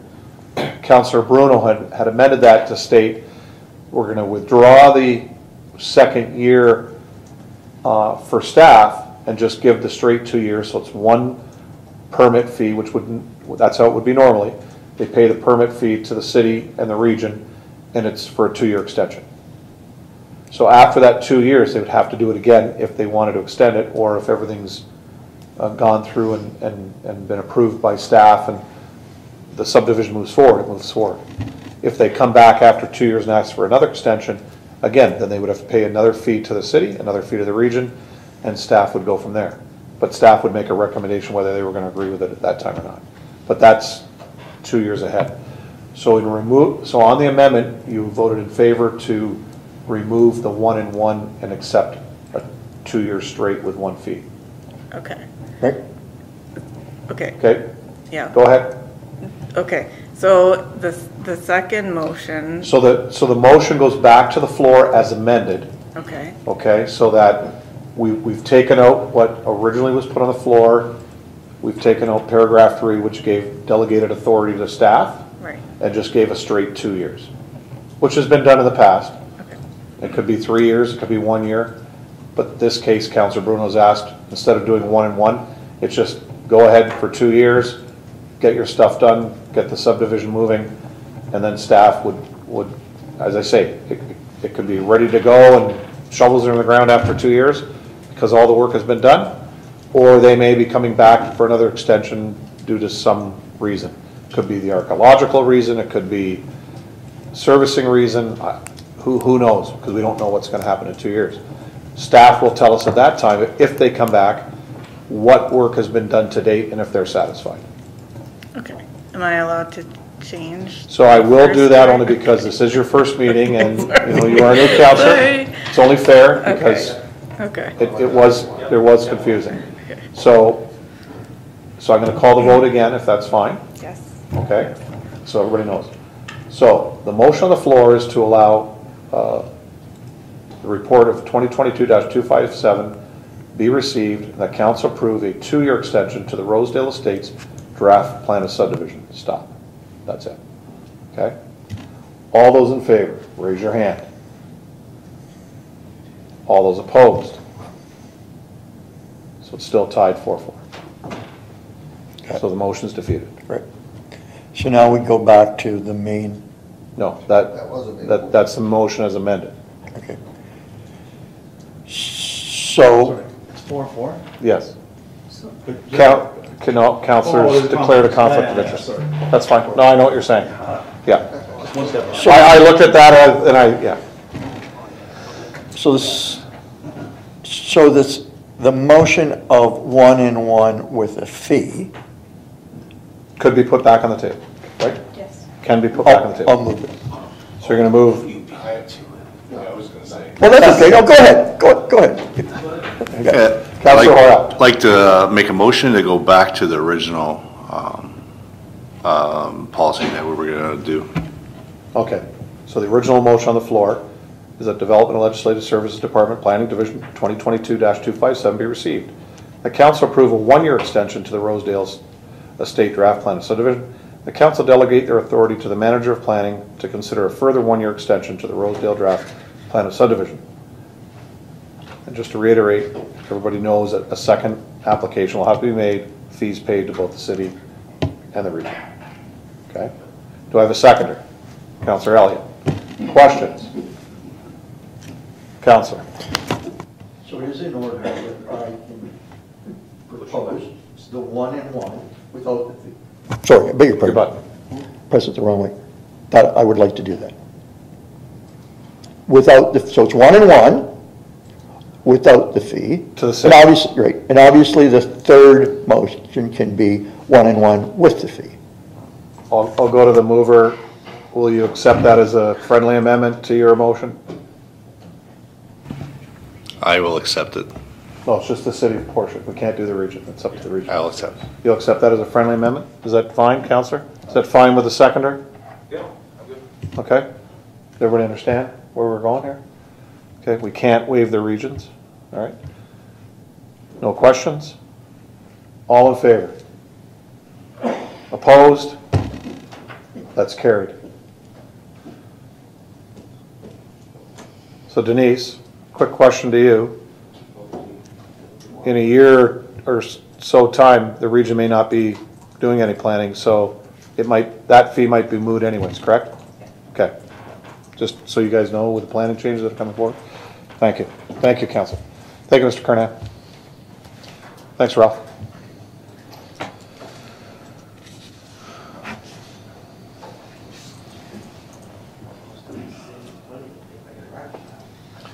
Okay, item 9.9, sale of surplus property, Steele Street, 2022-253. Moved by Councilors Bagu and Bruno that Chief Administrative Officer Report 2022-253 be received. Council approve entering into an agreement of purchase and sale with Kenneth and Wendy Bush of 848 Steele Street for the vacant city-owned property on Steele Street. That a bylaw to authorize entering in an agreement of purchase and sale with Kenneth and Wendy Bush regarding the sale of the city-owned lot on Steele Street legally described as part of the Borden Avenue Plan 792 Humberstone, east side of Knoll Street. Port Colborne be brought forward. The mayor and acting clerk be authorized to sign and execute any of all, and all documents respecting the sale of these lands. Questions of Councillor uh, Bagu? Uh, thank you very much, Mr. Mayor, through you. Uh, a little confusing, this report. The cost of relocating the two catch basins on the allowance, who pays for that? Mr. Long? Oh, sorry, you want Brent? Sorry, I apologize. Mr. Cotton? Through you, Mr. Mayor, to council, the cost of, of moving the catch basins um, would be borne out of the cost of the sale. The, sorry, from the proceeds of the sales. Councillor? Thank you, Mr. Mayor. So through you, the city pays for it? Is that what you're saying? Yeah, yes, it's, it's being, it's coming out of the cost of the, the, the proceeds from the two sales of the, the, the two properties there. Counselor? Just so I understand correctly, the money we get from the, from the buyer, we're paying, it's gonna be used for the, to pay for the relocation. That is correct. Yeah, that, that's a moot point, thank you. Uh, Mr. Mayor, um, previously, properties sold by the city, has always been a condition on development of a building lot property must start construction within two years. We are selling a marketable property to Mr. Bush with no conditions that ever has to be built on, so the city would get more taxes for a new development, so, uh, I can't understand the reason that, why we excluded that condition on this sale of property. Mr. Cotton? So, I- excuse me, I, I am a, have a little bit of a, a frog in my throat tonight, so I do apologize. Um, under our surplus land policy, uh, we go to the, um, uh, we make the first opportunity for the property owners abutting the property to purchase it. They made an offer to purchase the property. Um, and, uh, and, and therefore, um, that condition does not necessarily have to apply. Um, what we did do through the planning department was request that the buildable or a buildable lot uh, be maintained so that it could be uh, purchased in the future or it could be built upon in the future. Uh, but there is no requirement to build within two years uh, on this particular site. Councillor? Okay, thank you, Mr. Mayor. Any further questions on this? Seeing none, all in favor? Opposed? Carried.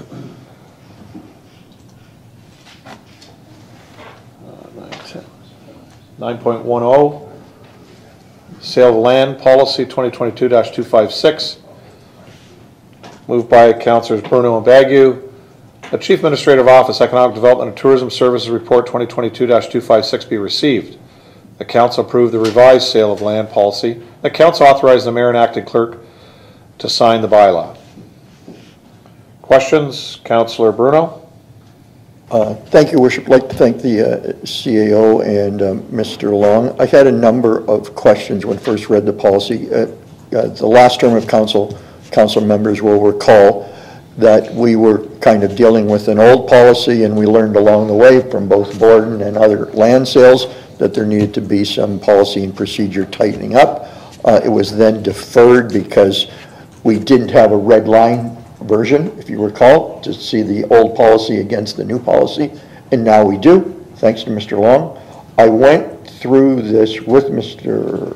Long, and I had um, one, two, three, four uh, amendments, um, mostly wording changes uh, to this long policy. And um, I'd just like to just quickly go through them.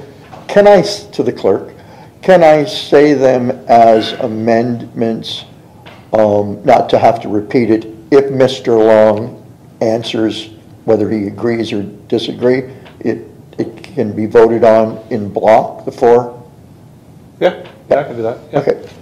So the first one was uh, 2.4. Uh, So let me find it myself. Uh, Land required for any municipal purpose, including but not limited to present, to present or future municipal facilities, infrastructure, and parks, is not available for sale to the public. Um, I guess what I consider to be that we don't want to limit ourselves, it would still go through council scrutiny, but in actuality, um, we broke what could have been this rule with Chestnut Park. So we sold a park for a dollar. So I went through that with Mr. Long, and uh, I wanted to get his opinion of it, so why don't I Yep. Mr. Long? Uh, Good evening. Uh, Through you, your worship, to, uh, to the counselor and to council. Um, Yeah, staff uh, have no issue uh, with that proposed revision. In fact, we would support that revision, and I think, um, you know, I think Chestnut Park is a good example. It's a great example of where, you know, council uh, and a community stakeholder work together to uh, identify a critical need in our city and then went and repurposed uh, a city asset for greater community benefit. And I think as we look ahead to this council term, um, and this was touched on during some of the council orientation presentations and, and during the recent committee of the whole presentations on the budget, is that during this coming term of council, uh, we will be doing a review of our assets, a, re- a review of our facilities, a review of our infrastructure, a review of our parks. And uh, there may be some instances where uh, it makes sense, uh, with the support of a business case, to divest uh, some city assets. In other instances, it may make more sense for us to retain those assets and invest in those assets. But I think, to the councillor's point, I think uh, we would support, staff support that proposed revision because I think it's important for council to have the flexibility and the decision-making authority, um, you know, when we have those instances. Um, and because we are a public entity and we follow the principles of go- good governance, which are openness and transparency, among other things, you know, there would be a public report coming to council. So staff are okay with that. So in that regard, Madam Clerk, it would just be removed, because it's not like we're going to do it, but we have the right to do it, and we have to make a case to council and the public to do it. So it would it be easier just to eliminate 2.4? We could remove that from the policy. Okay, thank you. Um, If there's nothing else, I'll move on to 2.5. 2.5 was a pretty straightforward one. Any survey and/or reference plan required shall be obtained at the expense of the purchasers unless council by resolution otherwise determines. I think certainly in the last term, when we bring development or put things for sale, and like, to cut to the chase, we should do a survey and pay for it and get reimbursed in the pricing of the land, so that someone who wants to buy something from us, his first question is gonna ask, well, you know, I need to take the survey to my uh, contractor or to my planner to see if we can do it. I think we have to have done the survey. It's gonna avoid a lot of steps, and I don't know how Mr. Long feels about that, but maybe he could Mr. Long? comment. Uh, Through you, uh, through you, your worship, to the councillor staff are supportive of, uh, of that revision. Okay, Counselor next? Oh, yes. Through your worship, to Councilor Bruno, are you suggesting, are you suggest, so, sorry, are you suggesting that it doesn't require a survey? Any survey No. and/or reference plan required shall be obtained at the expense of the purchaser I'm unless saying we council should be determines. shovel-ready, sale-ready. So- So if we put something up for sale, We, we do the survey and it's, the cost is included in the purchase price. So through your worship. Not, not, not included over them. So if it's a hundred thousand dollar lot, and the survey was five thousand, it's a hundred and five thousand dollar lot. So through or you listed at 105. Right, so through your worship to Councilor Yeah. Bruno, like, I don't, I don't read two point five with timing in question. I just think it's saying if and when a survey is, was, will be. I think it's, I don't think it's a, sorry, I got the same frog Bram has. Um, through your worship to Councilor Bruno, I, I don't think the turning point is, did we get a survey in, in time to market the property good? I think the turning point is if we did get a survey, it ought to be at the purchaser's expense unless council deems otherwise. So I'll use the Am I example. the wrong I'll use, the- I'll use the example is, um, I come to the city to buy our surplus land. It has no survey.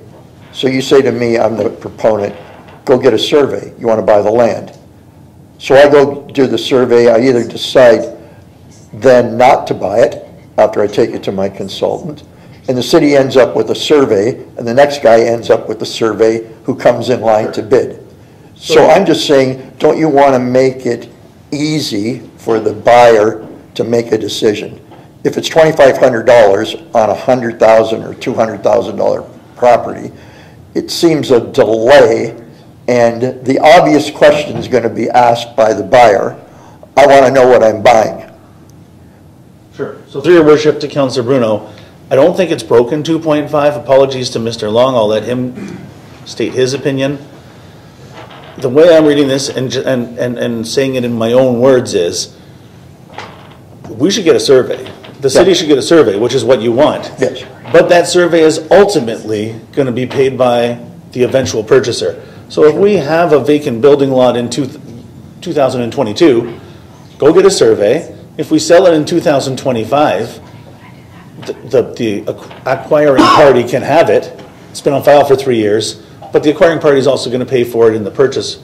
I don't think it's a, I don't think there's a person at the counter saying, I'd like to buy the vacant building lot, and we're sending them away saying, not until you obtain a survey at your own expense. I think our practice is to do our own surveys with a land surveyor, either when the, when the property is declared surplus or when a sale is contemplated at the outset, or if it's an unsolicited thing where the person walks into the, you know, walks into a meeting and says, you know, I'd like to look at this property. You know, that one we're not ready for, so we didn't have a survey on file. But in either case, we're gonna get it from the expense of the purchaser. I don't think it's a case where we kick them out and say we're not ready because we don't have a survey on file. have I just think if we're- right, just a Oh, second. I have your answer, counselors and CAO. In the report under item six point one called land surveys, it actually talks about that. It Talks about us getting a survey and that the third party, the Then person pays for it. I think two point five really talks to that, that when we get our survey, they're still responsible to pay for it. The two are tied to each other, so it's already there, but it is separate. through you to your worship, and I apologize. Um, When we discussed this matter earlier today, I didn't have the policy in front of me, so it is covered in section 6.1, as the mayor has indicated, with reference back to section 2.5, saying that cost will be borne by the the purchaser. Can I just ask then why it's then even there? I think I know. Through your worship to Councilor Bruno, sort of a final word, contemplating what the original writers of, of the policy or the people who have added to it over the years might have been thinking. This is, it's a total different track. This is council having a chance to write off the cost of the survey for a valid reason. So imagine a property was undesirable to us, but desirable to the neighboring property owner. And imagine its value was very low, $100. And imagine the survey was $2,500. There would be very little incentive for the person to pay 20, like they might cut, kill the whole sale because of the order of magnitude of the cost of the survey, but it might benefit all of the taxpayers of Port Colborne for the city to divest itself. So we're in a rock and a hard place situation, all because of the cost of a survey locked into the policy. This gives council discretion. Now, I would suggest you wouldn't want to use this discretion for, you know, uh, Slivers. developers who intend to eventually pros, uh, uh, benefit from the proceeds of sale of their subdivided parcels or, or what have you. But you might want it in a charitable case, um, a case where there's just a business case or a common sense reason. So, and I wasn't the person who wrote it in there, but I, I imagine that that's the rationale. I'm okay, I just think if, if, if, if we're confused in having this debate, but why, why won't somebody five years down the road when none of us are here? But if, if that's the, still the rationale that'll be packaged in, I'm good. Okay, next. Uh, 2.6. Council may impose conditions of sale if deemed appropriate. This is one I've argued right from the beginning, that we should always have conditions. We, we have a rare opportunity when we have land, and I would argue we already have a condition when we sold one, in Chestnut Park is an example of it. Or you must build within two years. That's a condition we use. So I say by default, we should always, who's ever pur- purveying this to the public three years or five years from now, it's a positive, there is conditions, because we may want to ensure that it's suitable to the neighborhood, right? It's, there's, could be many things, but there will be conditions. I just don't want it left that we can sell it with no conditions and everybody just moves forward instead of taking the sober second look. You don't have to take a sober second look if the default de facto thing is there will be conditions. So how do you want to reword that? Council will impose conditions of sale. If deemed appropriate. Can I jump in? Just uh, through your worship to, yep, through your worship to Councilor Bruno. Don't disagree. I'm sorry to step on your toes, Mr. Long. Um, I don't disagree with the principle. I think the awkwardness comes from the fact that this is in general. So this is governing um, marketable, non-marketable, limited marketability, and so on. But in order to meet the test that you're trying to make the policy meet, I wonder if it should say, and I hope the clerk's writing because I won't remember this, council will impose conditions of sale if deemed appropriate to protect the interest of the city, the, the, the the residents or, or the, you know, and other stakeholders. I'd If be okay with that, if, but what about if it's a delegated authority? So that it doesn't come back to us? Right. And the condition the, the director told the buyer was, no, there will be no conditions. Okay, so can we make it a two-step, through your worship, two-step process? And looking to, to, uh, to, to Manager Long, who was at the meeting that, uh, we've had today and last month about delegated authority generally. What if we say council will impose conditions of sale when necessary to protect the interest of the corporation or its stakeholders? And then in the staff report, um, we are going to bring in January, which will talk about delegated authority for lottery licenses and delegated authority for free room rentals for charities. We also put in delegated authority under section 2.5 of the land sale. So you're going to have a month's time lag. Yep. But we'll make sure that it's covered in the delegated authority policy. I'm good. And then, oh, sorry, Dave. Councilor Elliott? Thank you, Mayor. Um, Through you, how do you leave conditions open-ended? So, through your worship to Councilor Elliott, that's a good question, and I think it, it's that, the reason I don't want too much, um, shape in the policy, I was a little bit, you know, alarm bells went off when the counselor brought it up, is because each is, each case is different, and it's, it's almost gonna have to be looked at a case-by-case basis. So, for example, we had a property today that had city catch basins. The condition is that they need to be removed.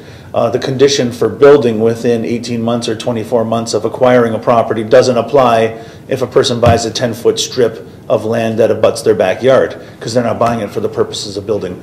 So it almost has to be done by staff at the time of sale. If it's a, you know, a church parking lot, it's a lot different than if it's green space, vacant residential. So your, your question's valid. I don't think I have an answer other than to say, you're right, we can't stipulate the conditions in advance, carte blanche. just looking at it from a perspective of a residential lot, we would put on a condition that you have to build within two years, mm-hmm. full stop. So. That's all, we're- that's all we're looking at. We're not, we're not gonna throw conditions on where it has to be this style and it has to be that. Just full stop, you have to build within two years. So through your worship to Counselor Elliott, um, With zoning approvals and everything that are in- in place, right? I'll take it a step further. I'm not going to say yes or no, but I'll take it a step further. It's actually two years or a buyback at less than the face value, less than the original transaction price. 75% or something. Seventy-five percent. Yeah. But we have had, um, I can think of one property in particular, Walls, where we had received presentations from interested parties, and they were almost like competing bids. I don't know if it's fair to say that, but there were different plans for the property, and council sold it to a person who proposed a plan. And so the condition wasn't just, you must build. The condition was, you must build what you proposed to council, and council approved for that property. So it could go a step further than just the simple construction must take place. I don't know, I, I mean, maybe it's wrong to predict the future. I don't know if we would ever say, you know, must be a brick, single-family home, or must be a four-story multi-residential. We've done that. Yeah, we could. CMT, when we developed CMT, we had conditions in there about building a certain. Materials. Materials and things like that, paving driveways, all that stuff, so. Yeah. Not, and that took a while to sell, right? Yeah, like they, That's- the council of the day did not want an all-sided house. Yeah. And- No And that's. snout- no snout houses like And no Sugar snout Loaf. houses and, yeah. Yeah, and those are, those are the things that, that make me very leery about limiting to what you can do. Uh, Municipality to the extreme north of us that might abut Lake Ontario put extreme conditions on a, a piece of property that the city sold to a developer um, for affordable housing. And they turned around and handed the keys back and said, no, can't do it. Yeah. So that's the, the situation I don't want to get ourselves into. But CMT is something we just came, fell across because we purchased an old Yeah. school property. Yeah. So, but I On- just- To me, on one-off properties, uh, unless it's more commercial, because that's what the Welland Street property came under. Normal, single building lots, I I don't think we've ever put a condition on what the house has to look Yeah, like. and if somebody wants to lock themselves in and say, this is what I'm going to build, you could put that in writing? Oh, Yeah, sure, it's- yeah. Absolutely, yeah, okay. Just, go ahead. Just through your worship to council, I think, I think, you know, the scenario we're trying to avoid is you're, as a staff mer- person is sitting across from an acquiring prop, uh, party, and they say, oh, your policy says may, not shall. May is subjective and shall is very much defined. The new wording that's proposed, council will impose conditions that protect, conditions that are necessary, or appropriate, whatever the word was, clerk, to protect the interests of the corporation and its stakeholders. Period. So there might not be any conditions on that ten-foot strip of land behind the shed that are necessary to protect the interest of the corporation and its stakeholders. Or maybe it's necessary that it's fenced after the purchase takes place because of the abutting landowner. Um, So, so there's sort of a spectrum there, all the way up to and included, this has to be built on, and it has to be built on within a certain time frame because that's council's expectations. So that gives us the flexibility to impose the conditions, but it also gives us the, the teeth to say to the person who's trying to avoid conditions for their own gain, to, to maximize their gain, no, no, no, it says here, we are required to implement these. So I think we're protected on both ends. Just to finish up, I- actually, it invigorated my desire to have conditions, because I can't think of a property, even the little slivers, that wouldn't have a condition. So in other words, if we sold the sliver for a dollar to get it off our books, we would say, but you must do the legals. Right. So, like, to me, it was really only a placeholder to not let the keeper of the policy think there could be no conditions. It, it, it makes them think that there must be something, you wrote this, so I got, I need to go to the CAO and say, what do you mean I have to have a condition? Particularly on delegated authority, but you have said you're gonna try and clean that up there. Yes. But, so, it's not a hill to die on, but that was my intent. Thank you. Okay. And one last one. Your last one? Yep. Oh, sorry? No, he didn't have a question, he's fine. Um, The last one was, what was it here? 4.2. I think it may be a typo, but even that strikes me as a concern. Notwithstanding section 4.1, the manager's strategic initiatives or designate may A, dispense with the requirement of an appraisal for the following classes of land. Land 0.3 meters or less in width, so that's about 13 inches. I, I don't think, I, I think you want to do it on something like 18 square feet was what Mr. Long looked at, right? That um, you, you have to have a realistic um, number. There would be nothing less than 13 inches. I know this one. I think I do. Go ahead. Through your worship to Councilor Bruno, I'm not 100% sure, and unfortunately, she's left the room, but we could put a pin in this till she comes back. There's a concept under land division where there's a remnant parcel.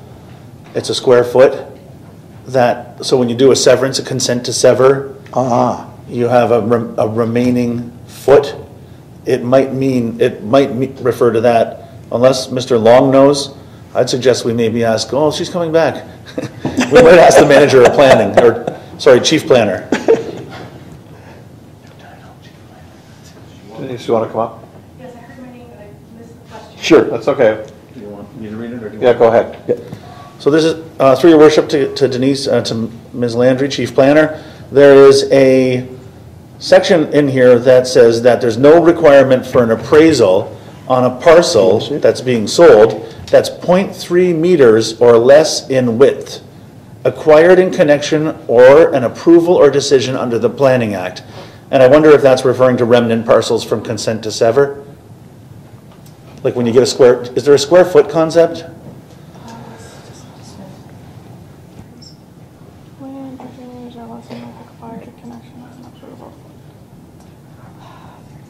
Can I say one thing, Denise, before you go? I think we have to remember that this is dealing with when there's an appraisal required for us. And, and I would argue that you want to have small slivers of land that we don't have to go to the expense of an appraisal. Like you wouldn't spend three thousand dollars, right? Right. To appraise, uh, the size of Mr. Long's office. Right. Right. So that's where I think that was coming from, but, sorry Denise. Through, through the mayor to the councillor, the, the .3 meter reserves, that's usually in reference to plans of subdivision. When a road, uh, when there's a dead end on a road, we put a .3 meter reserve so that uh, there's not legal access to the adjacent property. I agree with it, but it still says uh, appraisal. Like, I think you want to not have to do an appraisal with properties that are larger than the end of the road. So it's, you know, Mr. Long's got all these properties that are this wedge, right? The size of your desk and all that stuff. Certainly, we don't want an appraisal for that. So through your worship to Councilor Bruno, is it better to leave this and put a third bullet underneath A, uh, um, an III, that says, uh, land where the value or the cost of the appraisal exceeds the value of the land, effectively doubling the cost of the transaction? Yes. Can the clerk remember what I just said? So it would be 4.2 sub A sub 3, Roman numeral 3, uh, land with, with an estimated value that, that less than the cost of the appraisal. I think, right? Yep. Okay. I'm good. Okay, seven up? All right? Done. Done? Okay, so there's three items, council, that Councilor Bruno wants to amend. 2.4 he wants to remove. 2.5 he's fine with. 2.6, taking out the word may and putting in the word will. And 4.2, adding another paragraph, paragraph 3, which reads, Uh, Through your worship, land with an estimated value less than the cost of the appraisal. okay? Can I get a seconder for those amendments? Councilor Bagu, questions to the amendments? Counselor. Your Worship, I just wonder if uh, Mr. Khan could just provide comment if he's fine with anything. or- Oh, Mr. Long. Or Mr. Long, I'm I'm not sure. Yep. Mr. Long, are you fine with these changes?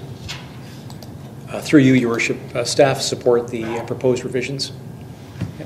Okay, Counselor? You're all set? Any further questions, comments?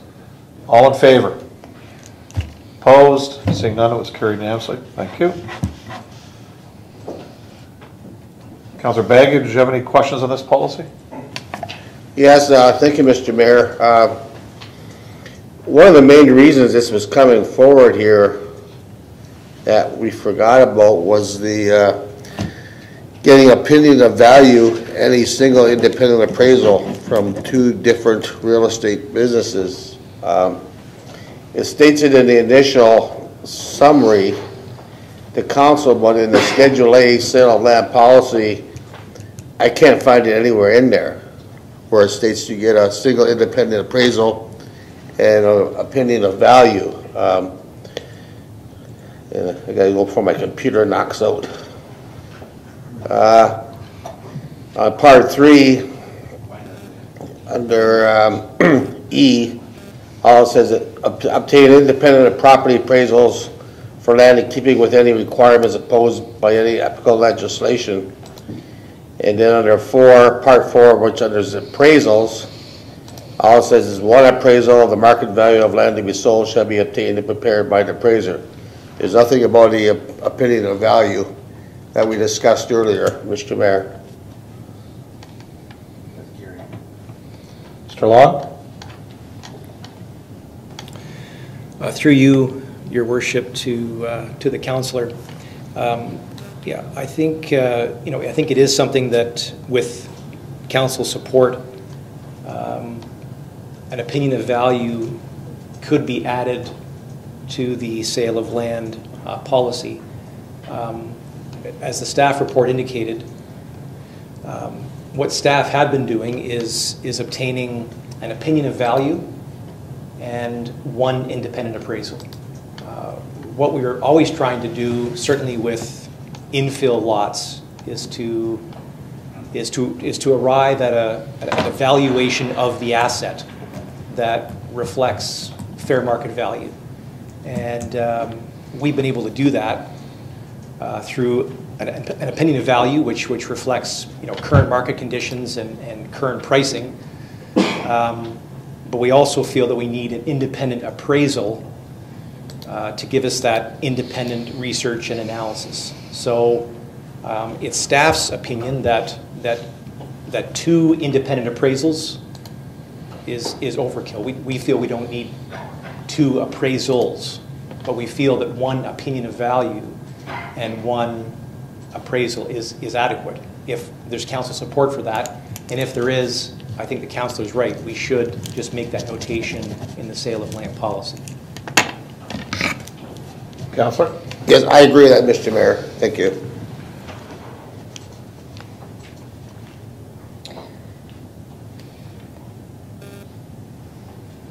So you want to add in one appraisal and one opinion of value, of market value of the land to be sold shall be obtained, prepared. So uh, as an amendment, we'll add, put that in as amendment, moved by you, seconded by Counselor Bruno, that we're adding under sections 4.1, it'll say one appraisal and one opinion of value of the market value of the land and to the end of where it already states there.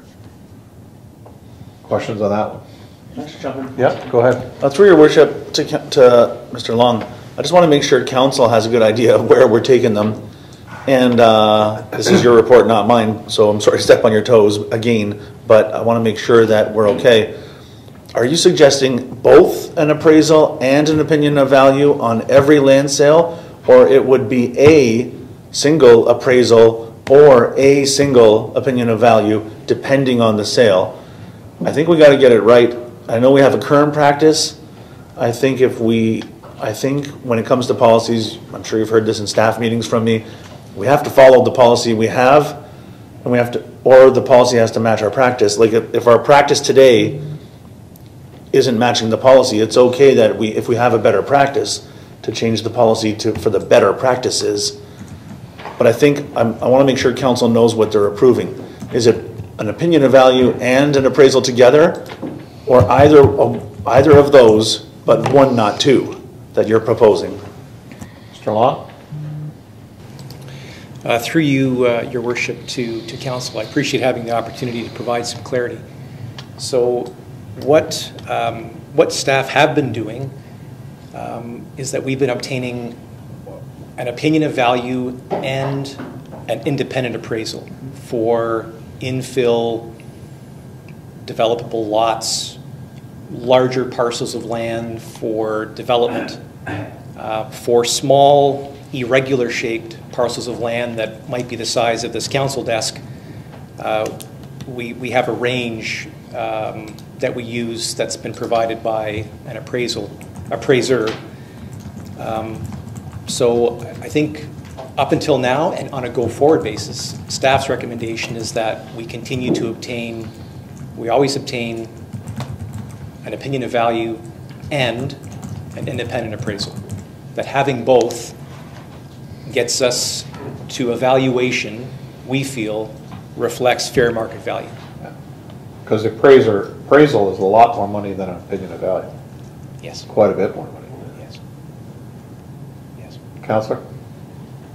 Because uh, as the, most of this council knows, in the- as in the past, we've got an appraisal and then for some property and council has turned it down, asked for another appraisal, and we get it, and it's a lot more than the first appraisal, like a hundred thousand dollars or whatever, so that's why I'm suggesting we get two, uh, Mr. Mayor. I agree. And I also remember a property that we had an appraisal on was more. We went out and got three more, and they were all less. So, I mean, it can go either way. Counselor Bruno? I don't know if you could give us some uh, context here, but I think the local real estate um, opinion and value is a couple hundred dollars, five hundred dollars. I think if you're gonna sell a hundred thousand to two hundred thousand dollar lot of developable land, it's good to have a cross-reference, cross-check. Yeah. But I wouldn't go for two appraisals, because I think No. that's just overkill, yeah. I agree.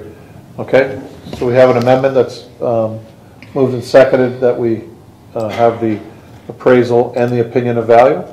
Any further questions? All in favor? That's carried. Thank you, counselors. Any further questions on this? No? Okay, so the motion is now as amended. Um, It's duly moved and seconded, correct? Who did I have originally? Uh, The amendments, Oh, I had- but nobody on the main. No, I did. I had uh, Bruno and Bagu. Bruno, and Ba- no, Bruno and Bagu on the original to get it on the floor. So it goes back to the original movers. All those in favor? That's carried. That's okay. Uh, 9.11 TPH Academy at the Vale Health and Wellness Center, 2022-258. Uh, Moved by Councilors Hoyle and Danch, that Corporate Services Department and Recreation Services Report tw- 2022-258 be received and the recreation staff proceed with accompanying, sorry, with accommodating the TPH Academy as a new tenant at the Vale Health and Wellness Center. Uh, Councilor Hoyle? Through the mayor to my buddy Brian. Um, With this, uh, um, well, academy, hockey academy coming in, uh, just the concerns were about, uh, let's see, assurances basically that are elementary, high, and high schools and all our day users, even though I know there's not a lot of day users, but to make sure they still have access to their normal stuff. Mr. Walls?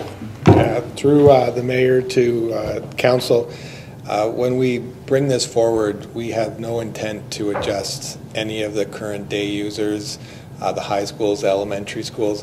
Their intent is uh, looking to be Tuesday to Friday, and uh, we see it as not impacting uh, any of the, any of the current users. And we'll certainly work with that in the contract too, to make sure that they understand that there's, there can't be an impact on the current high school and elementary groups. Okay, Counselor? Yeah, basically, because I was looking at how the, uh, besides London, the other places, they have eight AM to four and a whole course schedule with ice and everything. In London, they don't do that, but they're, in London, at later times. So I was just trying to make sure that we're gonna stay in that time frame, and then we're all good to go, and besides that, I'm perfectly fine with, if the ice is not used, sell it. Get her going. Thank you. Okay. Any further questions on this one? Counselor Bagu? Uh, thank you, Mr. Mayor. I had the same question as Councillor Hoyle with the uh, parents and tots and the open pay to play and senior and adult skate, but uh, I got the answer there. But also, I looked up our ice scheduling at the center, and it's pretty well closed every Tuesday except for one hour to do ice maintenance. So how would that reflect on this contract? I don't know what we do for ice maintenance for a whole day. Perhaps you can explain. Mr. Boles? Uh, Through the mayor to council, uh, we're getting a little more efficient on the ice maintenance, and we'll be able to accommodate it on the Tuesdays. Okay, Counselor? Any further questions? Counselor Beauregard? Through your worship, through your worship to Director Boles. Um, so uh, my understanding is that there's a priority list as to how we uh, deviate ice time. Uh, am I correct on that? Boles? Yeah, through the mayor to council, there is a model, uh, minor hockey for the most part takes the ice time and then works it out through the various uh, groups, kind of working on the, uh, on negotiating the, the ice time. But the ice time that we're talking about here, uh, there is no taker of that ice time. It's just, it, it sits free and empty between nine and 11 on all those days. Okay. So, so currently that's the situation. I'm just saying if in the future, the priority is not going to change, correct? Uh, Through the mayor to council, we don't plan on changing any of the priority with respect to who gets uh, that time.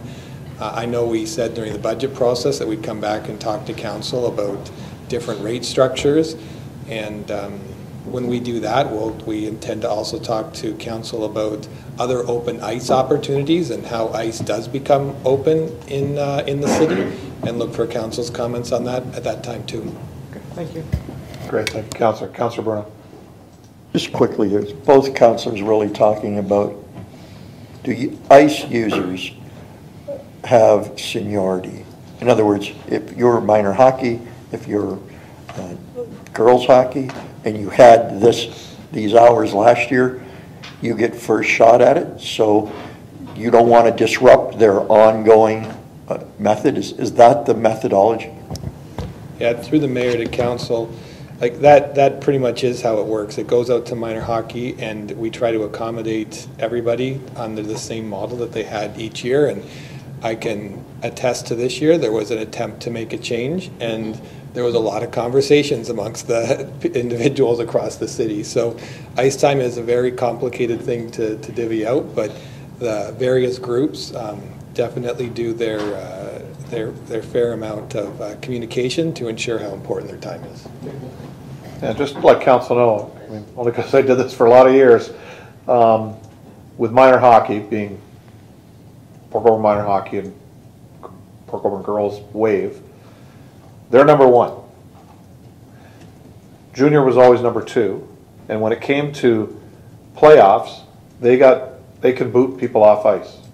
And that's in everybody's contract, so if Counselor Beauregard has the ice Tuesday nights at, at eight o'clock, but there's a playoffs now, and we need Tuesday because Orangeville's coming into town for a playoff game, we can tell you that that ice is canceled. And that's always been that way, forever. So, I mean, it, it normally doesn't happen too often because as you go later in the year, less and less ice is being used specifically by minor hockey itself as they wind down. But minor hockey and junior always got first dibs with, when playoffs came. Your, most of your tournaments are set up in- prior in advance, so when the, when the ice is divvied out, they know that the blocks for the Mayor's Cup, the Port Golden Puck, uh, a couple of the men's old timers tournaments, uh, whatever, you know, Wave might have a tournament, or Port Minor Hockey may have a tournament. those are already blocked off before the year starts, so people know that they're not playing that weekend. Even though they normally would, but they're not playing that weekend. And that's, again, been there a long time, so. Between ice schedulers and, and staff, it always is, is pretty good, I'm gonna applaud staff for getting this group to come in and use up ice again. that costs us money to have sit there, where now we've got a paying tenant, so. Just makes the, the whole facility busier and brings some wanted money into the city of Port Colborne, so. Further questions on this one? All in favor? Carried. Is that it?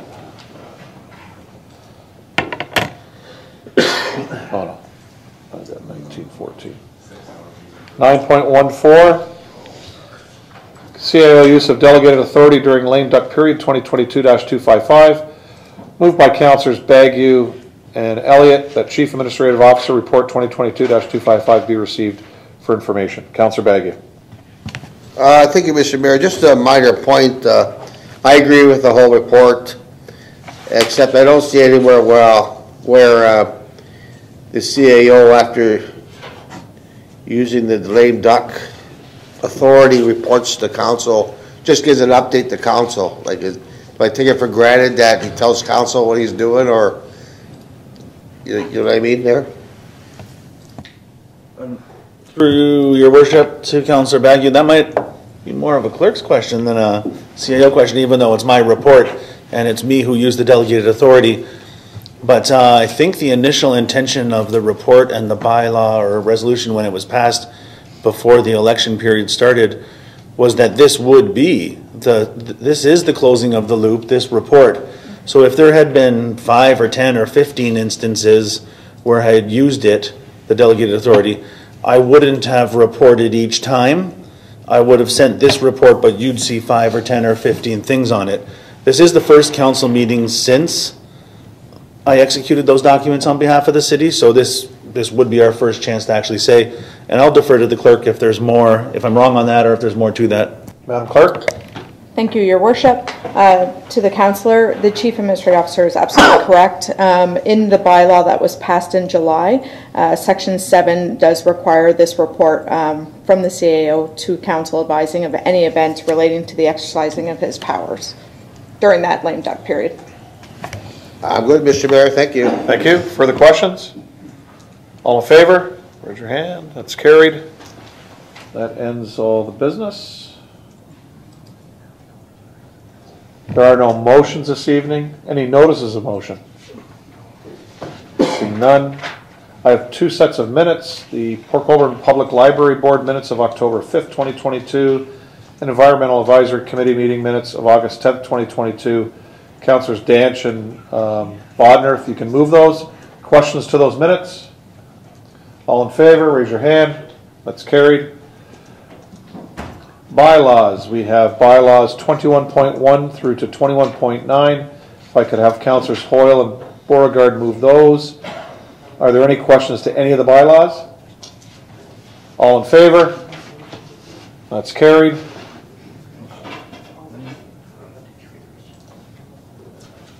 That's it, Madam Clerk. We're all set? You're all set, Madam Clerk? Great, thank you. excuse me. Counselor? Through you, I just want to clarify, was there any of these bylaws that had involved my conflict? Uh, one. Yes, Can we- I apologize. Um, it is, Sorry, guys. sorry, I, I, it was a, it was a bylaw that was added after the original bylaws. Just let me find it, because I'll go back to it. No, it's 21.6. Twenty-one six? 21.6. Yeah, so bylaw twenty-one six has to do with Rosedale, which the councillor already declared a conflict. So I'm gonna pull twenty-one point six to vote on this separately. All those in favor, uh, so I need Hoyle and Aquilina to vote on this, or to, to move it, to put it on the floor. Um, all those in favor of that bylaw, except for the councillor. Okay, that's carried. Now the balance, Hoyle and Beauregard, all in favor. That's carried.